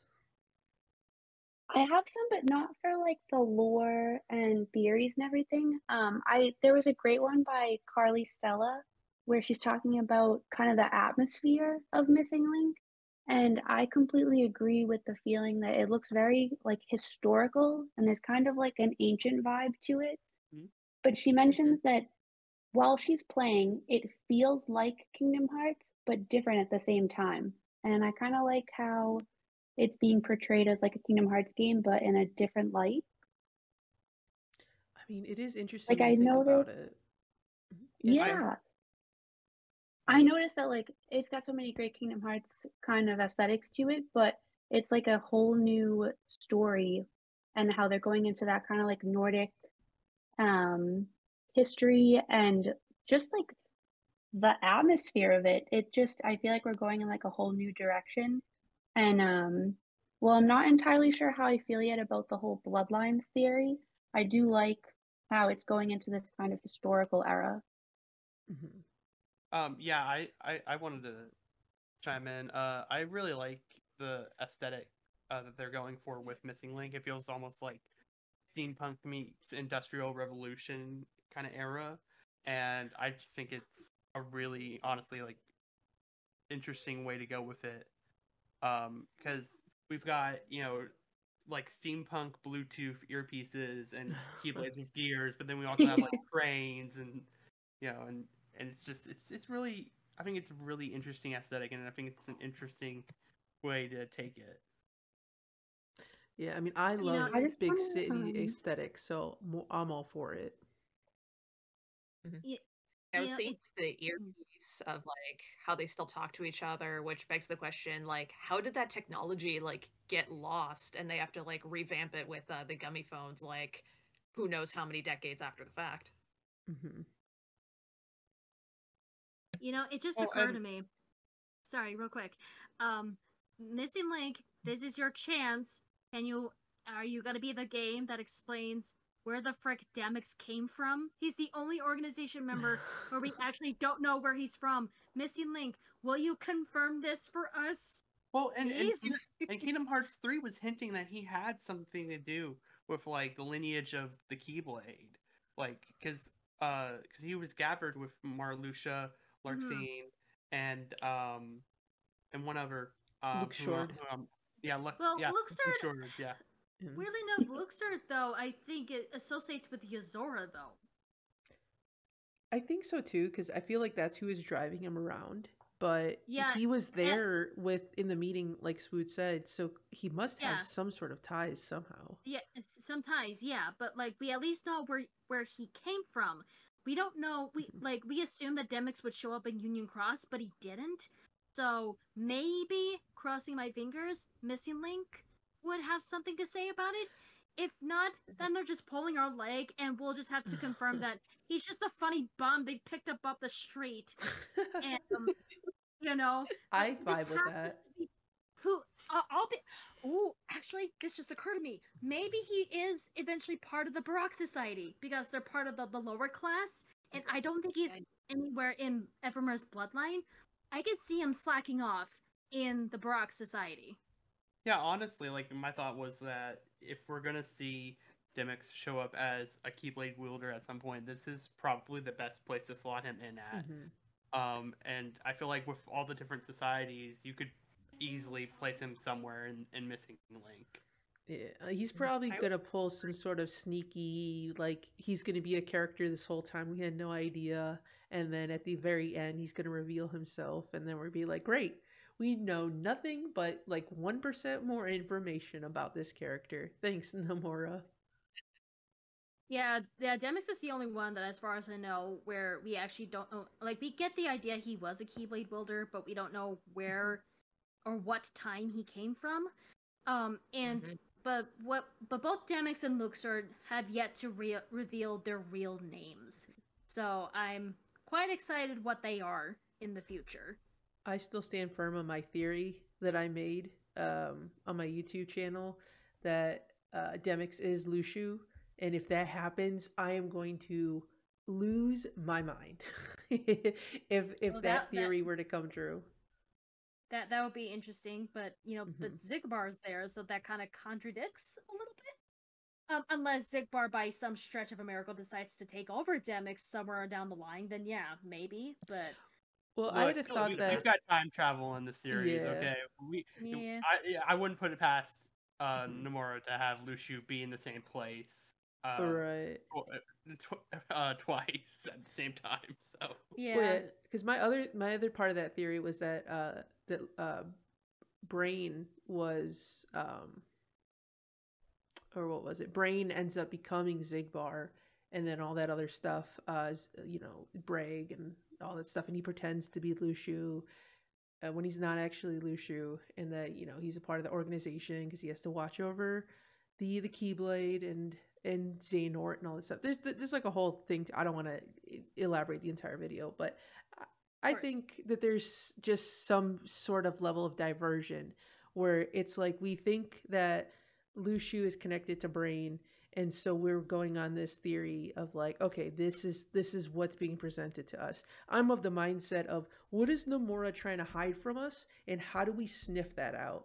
And my mindset is that there's uh, Luxu is there, but he's not present, or if he is present, maybe he's um, inhabiting somebody else. And then you know down the road we find out the whole time Luxu has looked like Demyx even from like the very first game. Um, and who knows if he like sends his body somewhere and then he takes over somebody else and he just keeps body swapping until uh, the current day. But but yeah, no, I think both uh, Luxord and Demyx will get more information revealed to them on this game. Eh, They would have to because there's nothing else at this point. Eh, I mean, I guess they could do like a like a backstory sort of cutscene in a future game that explains why. But I feel like if you're gonna do it, you're gonna have to do it with these games because if Marluxia and Larxene got their moment in Union Cross, then it makes sense for the other two to be uh, in Missing Link. You know, Mhm. yeah, it just occurred to me. I just remembered Luxu was in that period of Missing Link because he we see him covering the eye, and people theory theorize that it is said to be an unwritten era, Mhm. according to the the thing. So the theory was he covered the master's eye, therefore the master didn't see the events Mm. in this era. Therefore, basically, it didn't exist in his eyes. But I, I don't know. Um, I, Mhm. can't, I, I just have to remember that Luxu's there, so we gotta keep an eye on where Lucia might be at. I'm curious too how long this game is going to take us because Union Cross was nearly a decade's worth of uh of waiting and playing. So I, I hope it does. I hope Yeah. I hope Dark or not Dark Road. I hope Missing Link kind of wraps up um relatively quickly. Like I don't mind playing it for a while. I don't Yeah. feel confident wasting money on it after what happened with Union Cross because all my all my JPEGs are gone, guys. all Yeah, the no, I money I, lost my- spent on I lost my favorite JPEGs. too. But the- the- No. But, but, but, but the money is also what what helped make Kingdom Hearts 3 and other good Square Enix games. So technically, Yeah. you're, you're donating for Kingdom Hearts. It's okay. I'll go download my JPEGs off the internet and print them out, and I'll have them forever now. I am Uh, excited about the stickers. Did we see that the stickers are back? Yeah, I did. Uh, I did see somebody tweet that's like the real ones know where these originate from, and it's the the ones from Union Cross, right? Unless are you talking yeah, about? Yeah, I'm happy that they made a return. I hope we get some new ones too. that'd be really cool. I'm, I'm curious. so have- excited to. Excuse me, sorry. No, you're good. Uh, I was just saying, have we talked about, or has they? Has there been any mentions about anything about unions or groups or teams or anything of that sort? Um, Uh, I Missing think- Link. Missing Link. I think. Sorry. Yeah, yeah. I think all, all I'm seeing is just like that there's like two opposing societies, but I'm still Mhm. just kind of like barely skimming. So I think Prime or Oath might have a little bit more details than I do. Yeah, basically, you're pretty much that. So, what I understand is that Missing Link, we must remind ourselves that Missing Link, the the biggest focus that Nomura confirmed is that their their focus is on societies, and both societies is basically one part of one half of society is a bloodline of Ephemer, Ephemer's bloodline, and the other half is basically not Ephemer's Mhm. bloodline. So in a way so in, instead of like four unions it's just ba- basically two unions fighting each other um and who like and I, I it actually just occurred to me of like i'm i'm already seeing the theme where it's going how the power of family or bloodlines is not a way of helping others it's not like you know if we're gonna go through like in like the moral of the story, if you will. You know, like we learned, like you know, your friends are your power, um, and things like that. And um, there, and there's like Terra and Aqua learn learning about the friendship a little too late. Um, it- it's all about friendship at the end of the day, and and it looks like they're delving it into families, from what I understand. Um, but like, it there's also like, let me see, let me see if I can construct this right. So I have this idea that you know I can I can already see the moral of the story with this is that bloodline your bloodline is not the most important thing of what makes you who you are. It doesn't it shouldn't define you as a person. It's a matter of like you know, it's it, it's about connections and you shouldn't be separating yourself uh, but because of a bloodline. And this affected Xehanort generationally speaking you know Mhm. like they so the again we have yet to because the biggest thing i admit one of the biggest things I want to know the most of is Xehanort's mother. That is like really the main thing I'm curious about more than anything in Missing Link. Like you can give me the biggest reveal of Kingdom Hearts 4 within Missing Link, but give me more about Xehanort's mother. That is the one I want to know about the most. Um, and I always have this funny idea, and I don't know if we can add this to this discussion where, you know, another thing to keep in mind too is like how they learned about this child of destiny. Like, if this page was like added, because the Book of Prophecies, from what the Master of Masters said, ended with darkness prevails and light expires. Mm-hmm. Um, but then this era says otherwise that this child is deemed as titled the child of destiny will be the one to basically change the outcome of that last passage. Uh, it, I want to know like how this page was added and where it came from, and and why, by some stretch of a miracle, did they think it was Xehanort that is the child of destiny, other than they saw his talents as as like a tiny little sperm. I don't know. I don't know how this works. So well, it's wasn't uh, there multiple child because wasn't Baldr also a child of destiny or is that not I don't confirmed? I don't think that was confirmed. I okay. just know we just know that he had a sensitive heart like Xehanort does. Um, yeah, because I thought that was I, the reason the child of destiny is the child of destiny, and also wouldn't Sora fall into that same category because all three of them could feel the feelings of others. Yeah. So, but here I'm actually gonna get to that point with Sora, and I, um, I I don't think Xehanort is the child of destiny just because. Well, here's the thing: people, uh, the the people of Missing Link, if we're going to assume this is the same timeline they believe Xehanort to be this child of destiny because of his sensitive heart and because and he's also of Ephemer's bloodline. So they think because he's of the bloodline with those talents, surely he'd be the one to, you know, you know, fulfill this prophecy. Mm-hmm. Um and I must remind mm-hmm. you all too that the prophecy also suggests that, you know, they could think and feel what others feel. They'll connect with other people. Yet they stranded this child all alone on an island by himself with no people but an old man dying. You know, so isn't that kind of arrogant of them? You know, it's like their arrogance in thinking this child leaving him by himself on an island is already a path of disaster. You know, I wonder if the um, child of destiny prophecy is more of a curse than it is uh like a good prophecy. Because we've already if Baldr I mean like I said I'm not sure if Baldr is connected but anybody who can feel the feelings of other people are subjected to turn to the darkness then those people it probably would make sense to isolate him on an island um yeah only for him that, to that escape is... like uh, he's like a prison breaking well, off of destiny islands. Well here's the thing. I think it's a misinterpretation on their part. See you're I think you're right about the fact they kept Xehanort on an island to isolate him from darkness affecting him, but that's a reverse effect because hmm. that I think made his heart more fragile because you need to grow into gaining these connections even as a child. You know, you can't you know it's kind of like if you're living in religion, you can't just keep them in just religion. You got to allow them to, you know, let their insecurities out a little bit and understand the world. You can't just isolate them in a church and not understand the world. Does that make sense? Mm-hmm. Yeah, you know, makes sense to me. Sort of a deal.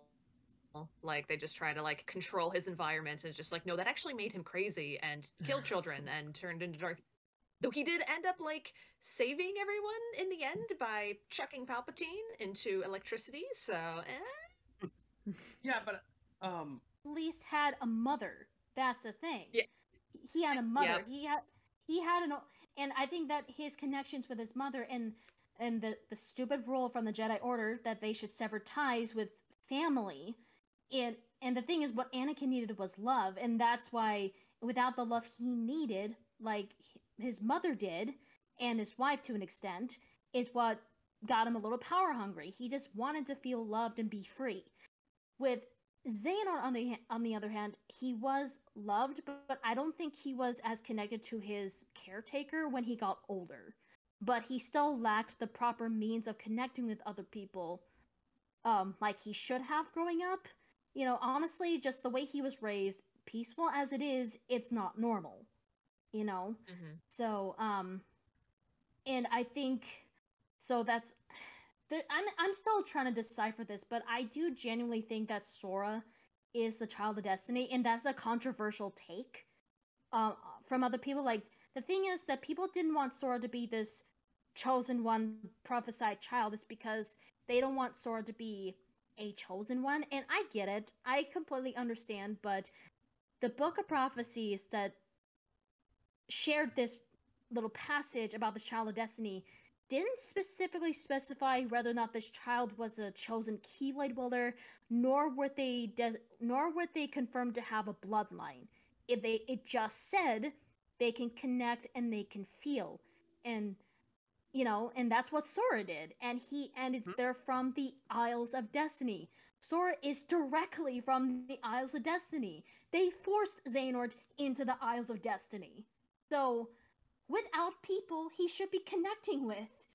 So, And- they just practically set Xehanort there out of fear, trying to get this darkness out of the way as fast as they could, without even taking consideration for Xehanort's, you know, mental being. I get a mental health or whatever to hmm. like actually properly connect with people like he should.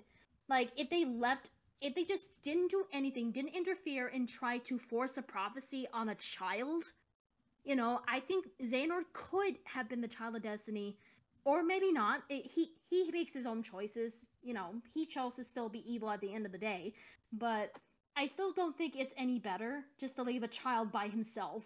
Like even Mhm. with a with a caretaker a caretaker who is old and dying, might I add. I don't think this was the wisest decision. It was literally out of arrogance because they're so confident in their bloodline. You Mm. know. And I I think you Mhm. can make the argument that like them basically shipping Xehanort off like that is kind of just the impetus of what caused him to go down the path that he did. I mean, I this is reminded me of that of that first cutscene from Birth by Sleep where you see young Xehanort and he's staring out at the ocean on Destiny Islands and he says, "This world is just too small." Mhm. you Mhm. know I, I i think them sort of isolating him like that is kind of what led to this so But yeah, like that's the thing. That's like any person that's isolated and alone would, you know, and especially when you didn't really grow up with any kids. Like this, Xehanort really wanted friends. Like you see this at the end of Dark Road, where he talks to his caretaker how he has dreams of these kids, and he wondered if that's what having friends is like. If that's not the loneliest line you hear, I don't know what is. Mhm. And so, um, and this is actually one of the reasons why I think Xehanort is so fascinating because he's basically a coin flip of Sora. You know, like Xehanort is like is from a bloodline. He is chosen by a Keyblade. He he has basically everything, but not really everything at the same time. He was he wasn't given like any connections. He didn't have any kids to play with, not a mother to nurture him. Um and and both he and Sora have the same abilities, but Sora at least lived a normal life, you know, and that is the he, Sora is the least expected candidate, but he, that is exactly why I think he is the child of destiny because he wasn't chosen by Keyblade, nor was he of a famous bloodline. It's just a regular human boy, and it Mhm. could be anybody, you know. It's Sora. Sora didn't do it just because he wants to be a Keyblade wielder, doesn't want to, doesn't even care about bloodlines. He just wants to help people, you know. You know, That's this, uh, this talk about bloodlines though has started to get me thinking too because of how connected it seems like the destiny Isle- islands are to like everything but the fact of like i've kind of been thinking this for a while i haven't really been piecing it together but i think i think i might have um during this whole conversation have you noticed that there's not a lot of like white haired characters and like they do kind of seem to fall into a certain kind of like how Xehanort fell into darkness, Riku fell into darkness. They both have their ties to Destiny Islands. I know Urd has white hair in Dark Road, but it makes me wonder um, because obviously we see the robed figure, Xemnas, the heart was uh, not Xemnas, uh, Ansem. His heart was there, um, waiting on Destiny I- Islands to send Xehanort to Scala ad Caelum to set the the the future into motion. But then he waited there. But it's like he was Mhm. waiting there for the fall of Destiny Islands in Kingdom Hearts 1. But hmm that would allude that he knew that Riku and Sora were there. Is Mhm. Riku connected to Xehanort? Is he like his child somehow? That he like Mm. came back to Destiny Islands, had a family, and then left? Are we about to find out that Riku is connected to Xehanort in this game about bloodlines? And that's why he knew that his child was going to fall into darkness. So he waited in, I- in the cavern for his child to essentially succumb to the darkness that he was fated to succumb to. Are you specifically talking? Are you specifically talking about like? Sorry, are you specifically talking about like Ansem in the cloak? Or are you talking about Xehanort in general? Because I wouldn't say if we're talking about Xehanort in general, I wouldn't say he'd be a father, but maybe a grandfather or an uncle or something like that. But I Mm. do think I like I I do see the idea of like Riku somehow being of at least in Ephemer's bloodline. I don't know, and I wouldn't say if he's directly like with Z- like directly connected to Xehanort, but both Xehanort and Riku are connected to Ephemer. I mean, Ephemer probably banged a lot of women in the past. I don't know, the just a lot of people that bang just to get these multiple ti- multiple bloodlines. So I not I wouldn't pass it if there's just a multitude of bloodlines and not just one. Mm. I, I do This like the idea though. House ordeal. What was it? Wait, you what? cut out a little bit. This game is actually just a House of Dragons sort of ordeal. No, no. uh, what were you saying, Swood? Uh, I was just saying I don't completely hate the idea of Riku being part of Ephemer's bloodline if we're going to put such a large emphasis on it, especially because, uh, like y'all said, uh, we don't really see a lot of characters with white hair in the series. It's pretty much just Ephemer, Xehanort, and Riku. So I, I'm not Mhm. against that idea. But everyone does have blue eyes, apparently. I guess. Yeah, well, Oath actually had a good uh, post on that about how the eyes are actually uh, correlating to uh, the specific characters. I love the color theory. Mm-hmm. Yeah, because I never thought about that until I saw your post. Uh, wait, I'm have- gonna see if I can try and pull it up quick to Mhm. talk about it because ever since I saw that, and I hate that I can't remember exactly where I saw it, but um, it's the theory that blue represents light, orange represents darkness, green represents the path in between, and brown represents both light and darkness. Mm. What does that make silver? Silver eyes. True. Hmm. Oh. Yeah, I forgot Silver Eyes was an option as well. Yeah. Ha- have we seen any correlation with eye colors in Missing Link with the characters? Has anybody been what I- standing out, or if they all have just had blue eyes? I think they mostly all just have blue eyes by far. I think someone pointed it out on Twitter, if I can recall. Hmm. I guess we're gonna have to, on top of paying attention to uh, to whatever white hair characters are doing, to seeing like everyone's eye colors and just making like a mental note. It's like, okay, he's got orange eyes. You gotta watch out for him.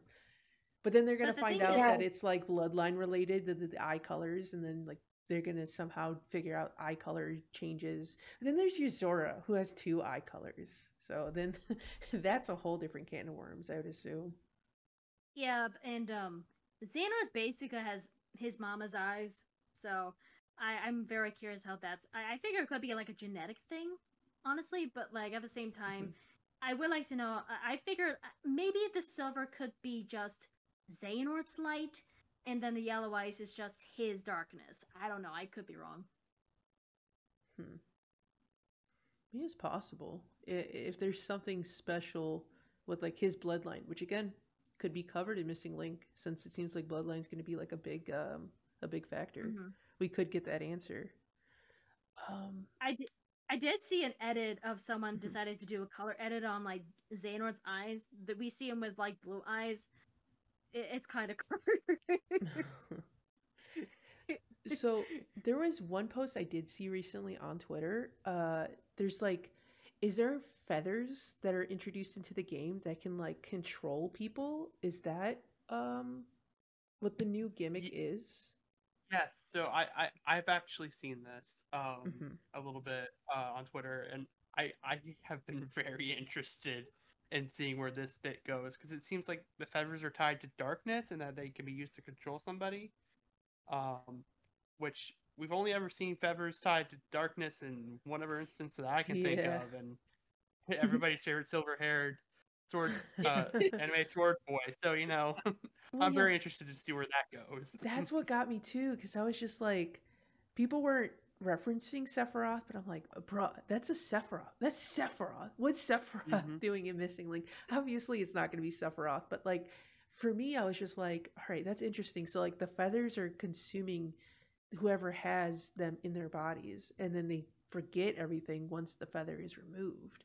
So part of me Yeah. also wonders going back to the whole eye color theory if that might be have we seen anybody possessed um by the feathers yet or is that just like a screenshot that they were kind of talking about it was just the two. It was just the two guards. mm um, Mhm. that were there to interrogate. Um, the interrogation was they they noticed that the player character was like um, a, a bit suspicious to a lot of people because they never seen this this kid before. mhm. Um, but here's the thing. I, I, like the idea that they're possessed, quote unquote, possessed by darkness, but they're asking specific questions about where this kid came from. To which um, I must add the scene before that, the scientists have noticed that there was a kid roaming around that's not from Scala. So they basically says we need to send someone there. So I think now I, I could be completely wrong, but I think those feathers technically might be from the founders themselves. Like they use these feathers to kind of go to these people specifically, but it is a bit suspicious. So I, I find it weird that the founders would have the chance to, if they if that's the case at all, that they use these feathers to um, basically be their eyes and ears and and ask them directly about the kid. Um, but um, then the guy, the Nept, took out the feathers, and the guards have no idea what's going on. And then after that, we see those two figures, which I think they are from the higher societies. So I think, and I think those guys are the ones that might be sent from the scientists or the founders because no one's talking about the founders yet, and I think that's something we need to to keep in mind on. Obviously, I could be wrong, but um, but if it is in fact that feathers are possessed like by darkness, that would be a very interesting take in Kingdom Hearts lore. That I don't think that is a common way for darkness to possess people with feathers. Again, that's a very Sephiroth. That feels very Sephiroth.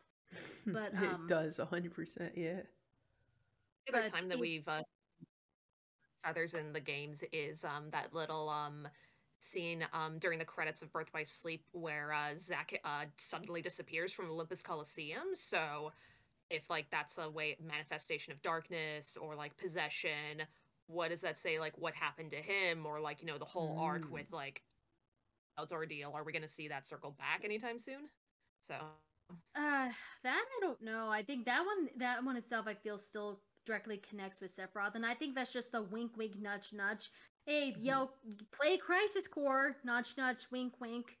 You know, I, I feel that's more of an advertisement, if anything.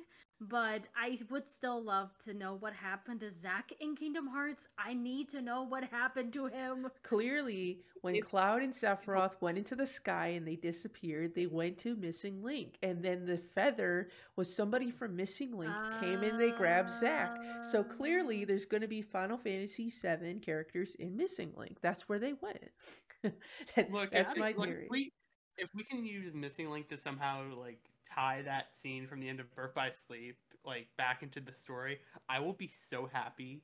Like what? a- Like not not plugging my content, but like uh, I made a whole TikTok about this like a couple years ago. Like, what actually happened to Zack after Birth by Sleep? And if we can, and if Missing Link can somehow answer that, I'm all about Mhm. it. Let's do it. Dude, I think it would be so funny just to have like random moments in games where just you see Cloud and Sephiroth fighting in like the background and they just keep like teleporting and then like disappearing into like other games. And then it's just like they mysteriously show up and I'm like, bruh, like guys, stop fighting. You like you keep warping from game to game. Also, missed opportunity because in Kingdom Hearts 3 in the Toy Story world, they had toy figures of the Dissidia um of Dissidia referenced. Toy Sephiroth should have been there. Toy Sephiroth should have busted behind like a bunch of boxes and you should have fought him as a toy. Um, Missed opportunity. I stand on this forever. That could have been a really cool secret boss. yeah. mhm. And Yeah, Uh, it's it's really funny how hearing Nomura mention like you know understandable. He he's afraid that people will be getting tired of Sephiroth, but most of us are just like "Uh, that's just the best part. At least for the number titled games, you could have given us a last hurrah with Sephiroth for the third game, and we'll be fine after that. But Mhm. you know. uh, But I can understand why he didn't add it because he felt like you know people could be tired of it. He was surprised to find out no, we're we're we're actually we'll be very happy if you brought them back let alone Final Fantasy characters. And he's like, well, I'll at least put in Final Fantasy characters, I guess. I'm surprised you guys wanted them, but here you go. I mean, Missing Link could be a good opportunity to get some Think anybody- older representations in like yeah, Well, I know Nomura doesn't like to put characters that he doesn't design in. He made the exception for Vivi, but if there's going to be a game where Final Fantasy 1, 2, 3, and 4 characters showed up, it would definitely be Missing Link, I would feel like. I get posters. Like you see like random posters and you see like Warrior of Light from Final Fantasy One. I I can Mhm. see that, honestly. Um but yeah. I'm definitely one of those few that I'm like I'm I'm open to more Final Fantasy, but I'm not angry if they don't have Final Fantasy. Mhm. It didn't occur to me in Kingdom Hearts 3, but not having Final Fantasy characters in 3 was kind of weird, especially how relevant Mhm. they were in into 1 and 2. But I could see why he didn't. But at the same time, it's a mixed bag for me. Like I don't hate Mhm. it, but I'm also kind of sad at the same time, basically.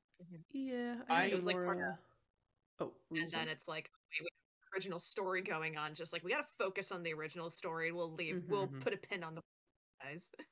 Yeah. Mhm. I I'm I'm in the camp of I really wish that they would have included more Final Fantasy characters in the original version of Kingdom Hearts 3 uh, before the DLC, uh, just because at least the Radiant Garden gang, you know, feel important to the plot of the series. So I really would like to see them. But if they don't, but if, if going forward they don't add any additional characters from Final Fantasy, you know, if we don't see Lightning or Noctis, I'm not gonna, you know, be I'm not gonna be upset about it at the end of the day because at the very least we have Moogles and they have Mhm, fun hats and uh, jackets now. So Hell yeah. So, if I could request at least a couple things, have us let us have a Gilgamesh, and let us ride chocobos. That's all I Mm. ask. I'm gonna agree with uh the like base Kingdom Hearts 3 not having them because in a way it did feel a little incomplete, at least without the Radiant Garden gang. Since they've Mhm. been in every other one, it just kind of felt a little empty without them there. Right, especially since we did go to little, yeah. Radiant Garden multiple times. Well, Mickey and Riku went to Radiant Garden, so it was possible they could have just had like a quick cameo. I do get their Yeah. stories tied up, but it, it would have been interesting, even in like the Olympus, uh, in Olympus, just to have someone, you know, even if they're not Mhm. really super story relevant, just to be like, oh hey, there's uh. I don't. I don't even know. I guess they could have referenced some of the previous characters. I mean, they kind of do in the beginning with the intro, mentioned but and, uh, Yeah. Orin in the intro But to yeah. the level. it, it would have been nice to have more inclusion. I agree. It's it's kind of like I get it, but also at the same time, it's I don't know. I, I feel like if anything, it should have been like DLC where they unlock the Coliseum and then you could go back and fight all like you know the Final Fantasy characters, and they could have added some new ones in there too. Um, Mods took care of that. That is true. that is true. I did have um I did see some discourse online though about the forest world that's in Missing Link. Now, a lot of people are saying that it could be a number of different Disney titles because they see the way the forest is laid out. I've seen some people say that it looks like the forest from The Incredibles, um, when Mr. Incredible is fighting, I think Oh. one of the uh, the robots. I think other people have mentioned Jungle Book. Personally, for me, it reminds me a lot of the Tangled world. Have you guys had any theories of yours of yourselves and what you think that world could be? Unless it's supposed to just be a plain forest, I think it's supposed to reference to a Disney world, and we just haven't seen what Disney characters live in it. But I'm pretty firm that it's a Tangled world. Well, Chris, I, I'm I- gonna agree with that one too. You think it's Tangled as well? I do. Well, I've seen someone post a clip of them in the forest. I think it was Damo. I'm I'm not so sure. But he was in that forest and he went through all different angles. Like he looked up at the sky and I saw palm trees. So I could see why people would think like there's like I've seen people like predict like Lilo and Stitch. Mm-hmm. Yeah, I be a saw that world? too. I've also seen some people predict uh, Moana as well. Yeah. Mm. Uh, but the idea of the Incredibles, it never occurred to me. Like, I'm actually kind of open to that idea.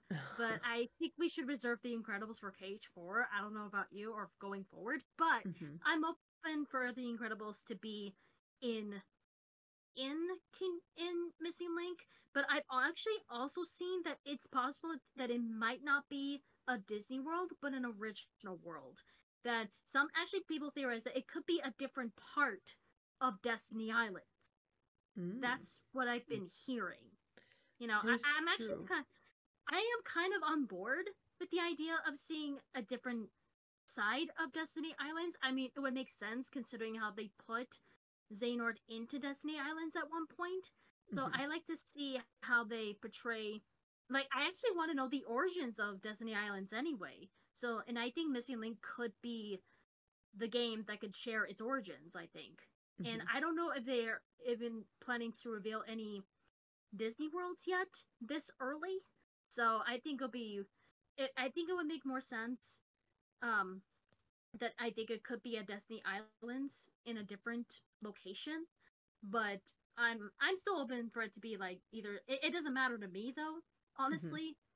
Surprise me basically, but I'm kind of more on board of the idea that it could be Destiny Islands because from that video I've seen palm trees, so I don't know what other else of a conclusion I could think of. Yeah, I- that, I, I- mean that's a solid point. I didn't even think about the palm trees. But if it isn't, if it is a world based around the Incredibles, I think that would lend itself to the themes that we see that we've seen coming cross so far, with Missing Link talking about bloodlines, with the lineage of superheroes, with Mister Incredible Mm. last and, and Mm, his wife and their children. Uh, talk, talking about society, you've got superheroes becoming outcasts in society in the Incredibles. I feel like there's some uh, thematic through lines that from the Incredibles that could lend itself to the themes of Missing Link. And so, if it is that, I feel like it's something that could slot in and work very well here. Oh, I want it to be Tangled so bad, but that sounds so good that I actually like that a lot more. I do too, yeah. Well, because mean, my we thought take- process with Tangled was that they were going to explore more about the powers of the flower that gives Rapunzel's uh, Rapunzel her power, and so I'm like, oh, this must be what was it? The series does the Tangled series. Yeah, the, the series. Oh, do yeah, they? the series. Yeah, Oh, they I did. didn't They, know. they, they, yeah, they did cover like where the powers came from. Ah, Um, I, I didn't see the whole show, but I did see some scattered clips online. So, uh, I I'd say give it a look yourself, and it is interesting. Hmm. yeah, because I, I figured I was like, uh, maybe it's like a Dark Road situation because they say that the worlds get restored or are created at like different um pace at like their own pace. So like when we go to I think when we go to Agrabah initially there wasn't anybody there, but then when we go back like Jafar was there or yeah, Jafar was there. And also the events of what was happening in that world was also before like you know Jafar Aladdin wasn't even like mentioned at all. Um so it's possible that it could this could be like Tangled, but like before the events of Kingdom Hearts 3 Tangled Mhm. happened.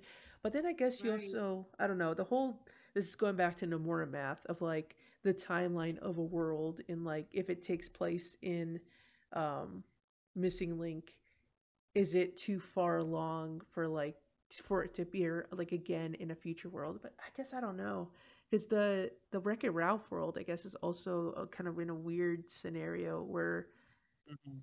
is it a is it a world of fairy tale because we don't really know because a lot of the worlds were projections so it makes you curious if we're ever going to see wreck it ralph again or if it's just like a one and done union cross sort of deal um th- though i do feel like union cross did lend itself to using specific worlds because of the princesses of heart and tying that back to maleficent and trapping her into the um, enchanted dominion version uh, so they could essentially forward the plot to make her go to uh, Back to the Future.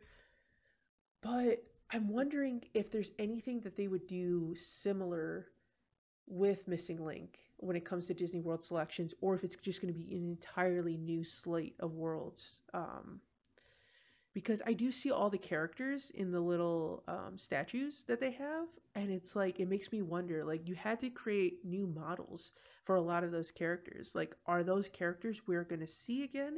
I guess if we don't see them in uh, Missing Link, we could potentially see them in a future Kingdom Hearts game. It seems like a lot of work to make a model that you're only going to use as like uh, like a, a weapon of sorts or an item. So I'm curious to see what kind of connections they're going to have with Disney and like what Disney worlds they're going to pick. Um, Mm, yeah. because obviously they have to put Disney to fill in if it's a mobile game. There's got to be some sort of like grinding aspect, and obviously, the Disney worlds are known to be the grinding sort of filler uh, aspect to every Kingdom Hearts game. What's gonna be our Agrabah in Missing Link? That is the question. I don't know. That's like a whole different discussion to be like, let's look at all the worlds that have not been picked and see what what they could fit in to uh to a new game. Cuz I mean, I I've had the theory that Quadratum being in a different reality would lend itself to like third party worlds being selected. So like Avatar, Marvel, Star Wars. Like if you're going to have another reality where Quadratum is the real life, then it would make sense for different properties that aren't necessarily cartoon properties to exist because it wouldn't be it would be weird if the Moana world existed in Quadratum in like the unreality. Like Moana should exist in the the side of reality to their reality.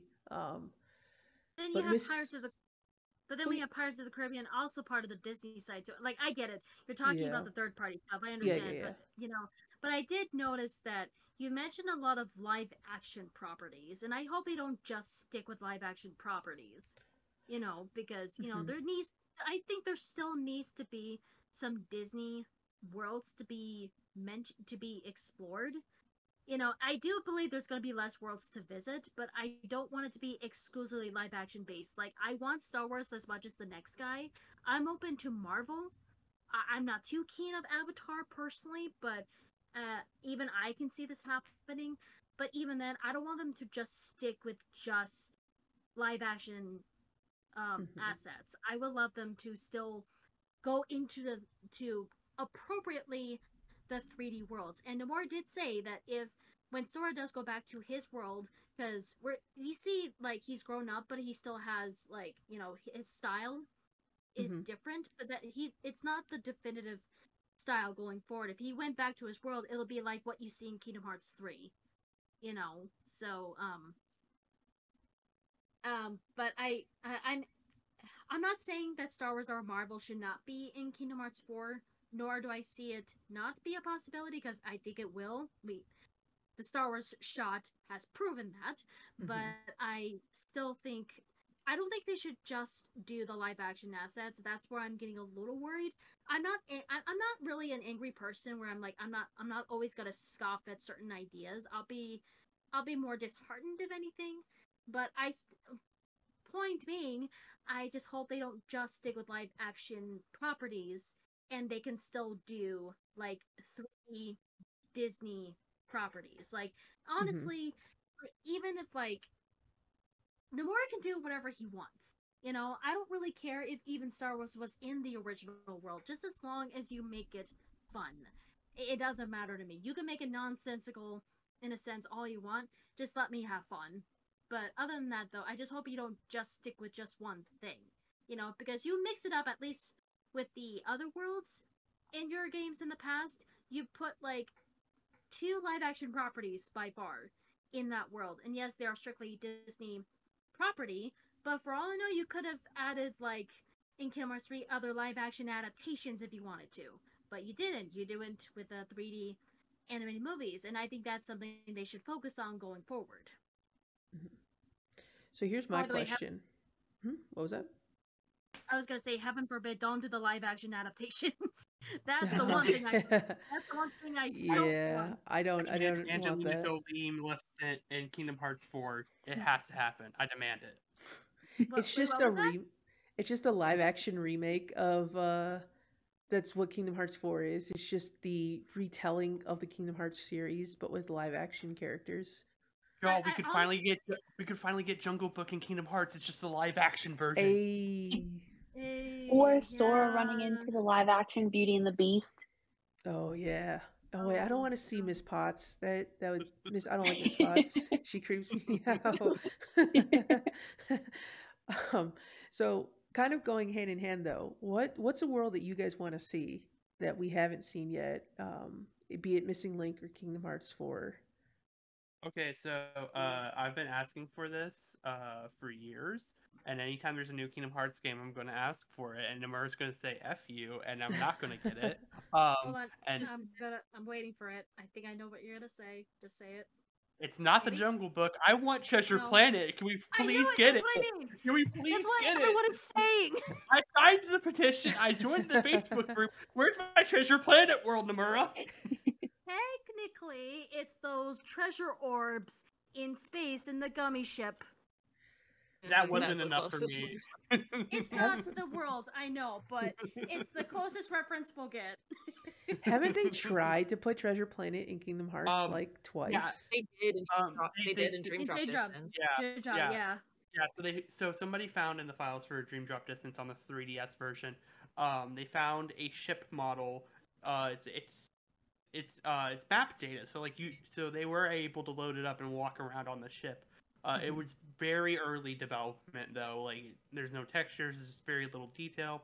Um, from how the folder, uh, for how, so from how the folders are labeled in Dream Drop Distance's files, they were able to glean that. Uh, I think the folder that the ship was located in was labeled as like TP for like Treasure Planet. Mhm. So that's where that that thought is coming from. So it's possible that they tried to or were thinking about it, but we didn't get the full world, and I still want it, Nomura. Where's it at? Well, because I also heard that Neverland wasn't supposed to be in Kingdom Hearts 1 and that it was supposed to be a Treasure Planet world. That's why the only area you explore is the ship because it was supposed to be Treasure Planet. But then I think they must have scrapped it maybe midway in production. Granted, KH1 had like a lot of stuff like that because Buzz and Woody were supposed to be in it too and they scrapped them as well. I, I know Buzz and Woody were supposed to be in Kingdom Hearts 2 as summons. I don't know Oh, about Kingdom Hearts 1. Oh, okay. Um, I- but I heard Treasure I- Story was gonna be in the first game, if I can recall. um, Treasure Planet did come out in like 2002, which is right around the time Kingdom Hearts 1 came out. So it is possible that Mhm. maybe they were thinking about using it, but that but the movie wasn't out yet, so maybe they decided to just uh, hold off and use uh, an already established film there. Yeah, it is funny to think that like out of all the times that, because like I, we know that in Kingdom Hearts three they were working on production of the Frozen world when Frozen was being released, um, and even the thought of like oh if Treasure Planet was out at the same time as Kingdom Hearts one to kind of work as like a a tie-in as like a promotional thing, and then also the Kingdom Hearts or the Final Fantasy characters in Kingdom Hearts 2 dressed up as their Advent Children outfit to advertise Advent Children. But out of out of all the Disney things that they were like, we are going to cross promote and that successfully made it in. It wasn't Treasure Planet, but but, but goddamn Chicken Little. Chicken Little actually waiting made it through. Yeah, he made it in as a summon. There's no world. There's no nothing. Dude, if we get a Okay. Chicken Little world, it has to be. great It has to make So- sense. It has to tie in together. you know what's funny? I think I heard they just added Chicken Little because I think they would just wanted to add something, and they didn't get any assets. They didn't. We're not giving a digital model whatsoever. They just they were just as blind in the dark about Chicken Little. They just you know modeled it after looking at the trailers of Chicken Little, and that was it. Mm. I will say this: Hey, at least they got Zach Braff to come to come in and voice a couple lines for Chicken Little. So yeah. Zach Braff is in Kingdom Hearts, everybody. Heck yeah. Uh, Oath, do you have any uh, thoughts on what world you would want to see? I really want to see Coco. Yes. Oh my god. I feel like Coco would be so that would be really fun. I feel I feel like that's definitely like a world. So okay, my thing is that Melody of Memories should have just been like Kairi going on adventures, and there are certain worlds that I feel like would fit Kairi um, in her learning about herself and like her her journey of uh you know strength and finding herself. Encanto for sure is one, and Coco I feel like is another one would be so fitting for Kairi. Um, along with you know obviously there's other worlds like Moana I think would be a good fit, but Coco would be so perfect. Oh, uh Raya in the Last Dragon, I think is what Mm. it's called because there's literally Oh, a that would be princess of really heart. good one too. There's a princess of heart literally in the movie, so that would be so fitting. I won't get Um, into it too much, but when I was uh, watching Raya in the la- end of the Last Dragon, um, as I was watching it, I was like, "Wow, this would honestly, like, from a level design perspective, make a great world." Mhm. It would. I need that armadillo as a summon, a hundred percent. But yeah, no, Coco Coco is a great world because especially since it explores on the concept of like connections and family, bloodlines. So honestly, would probably be a better better fit for Missing Link. Um, Mhm. I would love to see that. Oh Yeah. my god, that would be so. Oh, that's such a good idea. Uh, I feel like too, not like a um I don't know if it was like in the movies or straight to DVD, but The Lion King 2 would be really Mm. fun. Yeah. I mean, Well, we in- we did get Three Musketeers, Mhm. so Yeah, we did. could get Lion King too. and we are technically, so yeah, we did get Return of the Jafar Mhm. as well. Yeah, so it, it's on the table. It's an option. Uh, what about you, Prime? What is your what are your pick? If we're talking strictly Disney, like straight out Disney property made by Disney, um, so Treasure Planet obviously has always been the popular, underrated box office flop favorite. But I also think by level design wise, and this is technically another one people talked about, and I'm kind of on that same boat. Atlantis Mm. Would be- would be an incredible like by design would be really cool to see um it is like i always have this funny i made a video on tiktok like a long time ago i call it a head cannon but that's more of like just a funny idea really it's not really really the case but i mean heaven forbid if it did um, but i kind of like the idea how like xehanort could be directly linked to atlantis because he's got that white hair and the Mhm. dark skin like the people of atlantis and the king happens to be voiced um, by the late Leonard Nimoy of all Mm. people. So that's kind of funny. But um, but if we're talking like like just any like within the Disney realm, even like the third party, um, so Disney strictly Atlantis.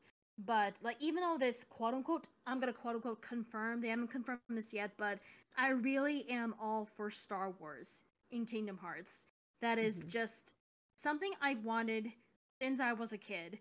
I like this like the thing is when I discovered Kingdom Hearts, it was also where I saw Revenge of the Sith as a trailer. And i in the same place, mind you. So it's kind of like in the same place where I loved the same things.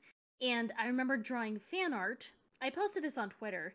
Um, of Yoda. He was he was he was and still is my favorite character. Long before Grogu was cool. Um he um I always drew him with a keyblade a few times, and so technically that was my very first ever Kingdom Hearts fan art. And Star Wars is what kind of prompted me to be an art artist in the first place. Um so but just the um like, like it doesn't matter where which direction they go, whether it's the the original trilogies or if it's the prequels preferably one of the two. Um, just it- it's always something I wanted since I was a kid. So if by some stretch of miracle they did confirm that Star Wars might be in Kingdom Hearts 4, um, it would literally be a childhood dream come true, honestly. And I think um it, it'll it'll just be really cool just how they handle it, but should that be confirmed. But if we're talking but I, I figure I say that anyway, just to see if I could just get on my chest a bit. But if we're talking strictly Disney, then yeah, I probably would pick Atlantis just Mhm. because of the really cool level design and I think the story of like a society in itself, I think would be. I, I can see that working for Missing Link as well because it re- relies on society and family, bloodlines, and that sort of thing. Um, but their culture is interesting, and the the aesthetic of a lot of blue in their culture is is very pretty. And I can see Square Enix pulling off a really pretty crystal blue i- in that environment. Um, but other than that, though, I just think it would be very cool to have Atlantis. So Atlantis, strictly with Disney, is my answer.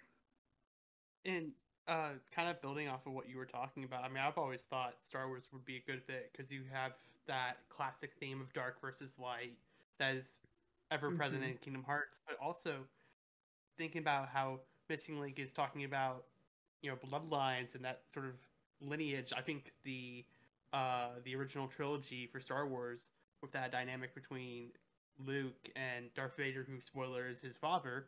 You know, I feel like you could tie that into that theme of bloodlines that uh Missing Link looks like it wants to uh delve into. So mm-hmm. I think Yeah, and it and it looks like that title as well. yeah, yeah, and if and it does look like it, it, again if they confirm this and seeing how there's an ATST at the corner of that screenshot, it looked like they're going to focus on Return of the Jedi, um, which I think would work like as a gameplay perspective and a story perspective. I think would work very well. Which again, I, I this is why I slightly recommend you at least look up the original trilogy movies at least, so you can get some context of what I'm talking about. Like even if you know the spoiler, I think it'll be best if you at least get some emotional attachment and understand why. But that's a whole discussion for another time. But yeah, it's uh uh yeah, that. All right, Eliza, what's your pick? Uh, so I actually have a few picks. I mean, obviously, um, you know, Treasure Planet, um, Atlantis, anything to give the box office bombs more love. Um, but my top three for completely different reasons. So if we want to go for this property needs more love, Princess and the Frog. You got to give my girl Tiana some more. Mm, Yes. If they like Yes, yes, find yes. a way to like bring back the Shadow Man, like I think that would be great. And also Keith fucking David, everybody, come on. Uh, right. I think it would be fun to see them and like maybe see like the voodoo spirits as like totally separate entities from darkness. I think that would be fun to play with. Oh. and, uh, Let's see, and uh, also with uh, Br- with what Brisk said about Moana, I think that would make like a great like character driven world for like someone like Kairi or like any one of the female characters, since it's like a very like female driven story. So I think that would be great. And ano- and I'm kind of like tossing up between the two now that I'm thinking about it. But if we want to go something that ties into like you know legacies, bloodlines, history, um, you either got to go with uh, Pixar's Brave, or as Mm. controversial as it uh, bringing back Frozen with the plot of Frozen 2, which say what you will Mm. about the movie, um, as like um, what is it? Elsa was going through Ahtohallan, and I was thinking like this is where Ven visits and has this mental breakdown about finding out about his past. Oh. Heck yeah.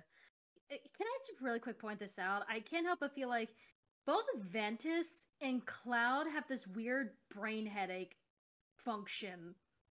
I I just find it funny that they both have the similar uh brain ache problem. It's the blonde spiky hair. It just comes with problems. Yeah. There better They not get be too some much bloodline trauma. stuff going on between them. but but yeah, no, those are all good picks. But you know what? We need an Aristocat world. And you know what? We need Axel as a cat. End of story. well, you know, actually, funny enough, I have like an entire scene like planned out. So you know, um, you see the first like Hellboy, where like he saves like that little box of kittens. Mm-hmm. that's how you introduce the Aristocats as like one of the heroes. I'm sticking with Axel. I don't know why, but like you know, he just like finds like you know the kittens and um, Duchess, and he saves them, and then like gets rewarded and stuff like that. I did like similar to like Hellboy. I just think it's cute, so and sweet. Well, honestly, technically, Aristocats technically made it to Kingdom Hearts just as an accessory in 2.8, in 0.2, where the accessory is just cat ears, just white cat ears, and it's tiled Marie. Mm. Uh, Yeah, I, I, I think any way they put it in, because I know that they're probably like at the end of using like animal worlds, um, because it's like, what can you do when you have so many of them? You know, you already gave us Lion Sora, and you kind of gave us a little bit of an animal Sora with Monsters Inc.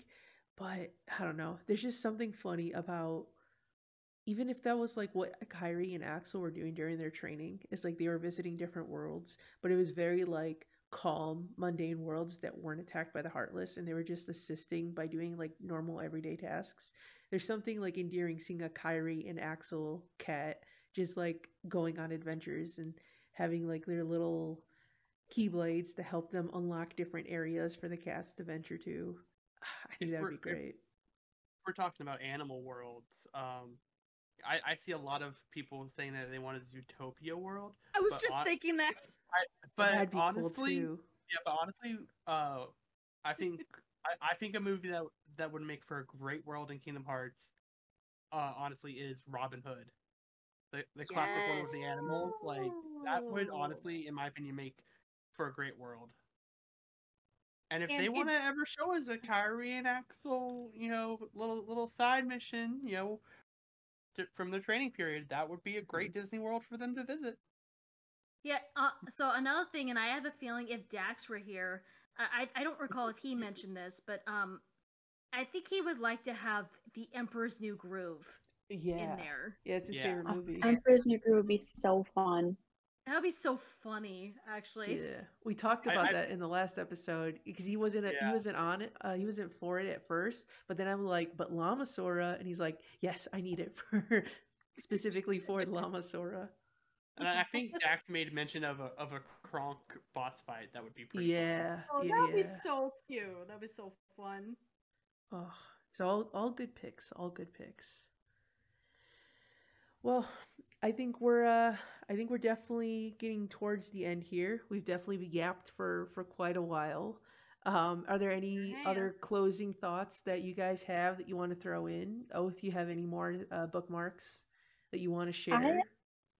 Wanted to just throw a shout out to thank all the beta testers that have been sharing everything that they've been experiencing because it's super yeah. fun to get to see Mhm. kind of what they're seeing and it takes an effort for them to have to like share their thoughts and share any screenshots and everything. So I just want to say a big thank you to that. Yeah, especially our friend Ellie. Um, she can't be here with us here for this, otherwise we totally would have dragged her in. But she's Mhm. also one of the beta testers, and she's from the UK, so she's currently doing it as we speak. So yeah, um, so yeah, none of us are from Australia or the UK. Uh, we're just simply just talking about the story. Um, and uh, otherwise, I would love we would have loved to give our thoughts on the gameplay aspect, but it will only be until the game releases where we can truly talk about it. And I'm sure Brisk will think of a way to. I'm assuming you could. If not, that's totally fine. But um, yeah, I'm I'm very excited to Mm. see where Missing Link goes. Really, just uh, I- I've been itching for another Kingdom Hearts mobile game for a while, and I I've been playing Final Fantasy VII Ever Crisis from time to time, but it's not the same like Union Cross. I I genuinely miss playing Union Cross. It's something I used to go and play after work. Mhm. Um and when it shut down it made me sad.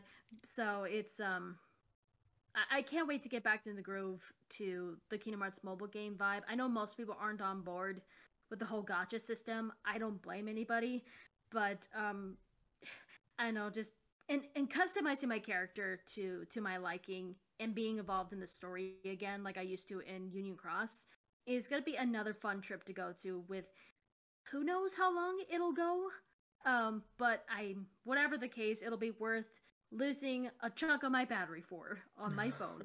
Oh, I'm In definitely fact, getting I- a new phone for sure when that game comes out. Oh yeah, no, I'm almost done But paying my car, I'm gonna start uh saving up for a new phone as well because my pho- I've got a phone from 2017. It will catch on fire if I try to run.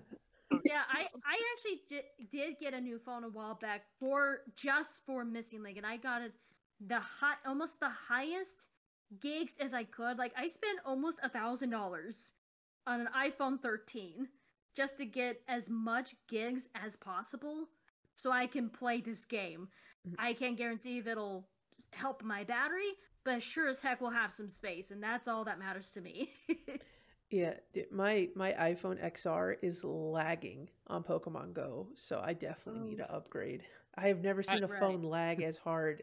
I mean, I'm like Pokemon Go is not that intensive, but Mhm. it's it's a sign it needs to go. But I'm literally waiting until the very end because for fingers crossed nothing happens. But I don't want to wait like another two more years, and then if I get a new phone now, and then it gets like not it's outdated by whatever standards go down the road um or Mhm. if they decide like hey guess what it's going to be a pc game and not a mobile game and i'm like great i mean i probably should get a new phone either way but yeah i'm waiting until we get that release date and then i'm going straight to the store and being like one new phone please it is urgent i need it immediately Yeah, like we're still waiting. Yeah, we're still waiting on that release date. They they said in the in the trailer about half a year ago it's coming 2024, but Mhm. I don't trust it. yeah. Dude, oh, but could you imagine? So they did a event in California for Union Cross, uh, the Dandelion meetup.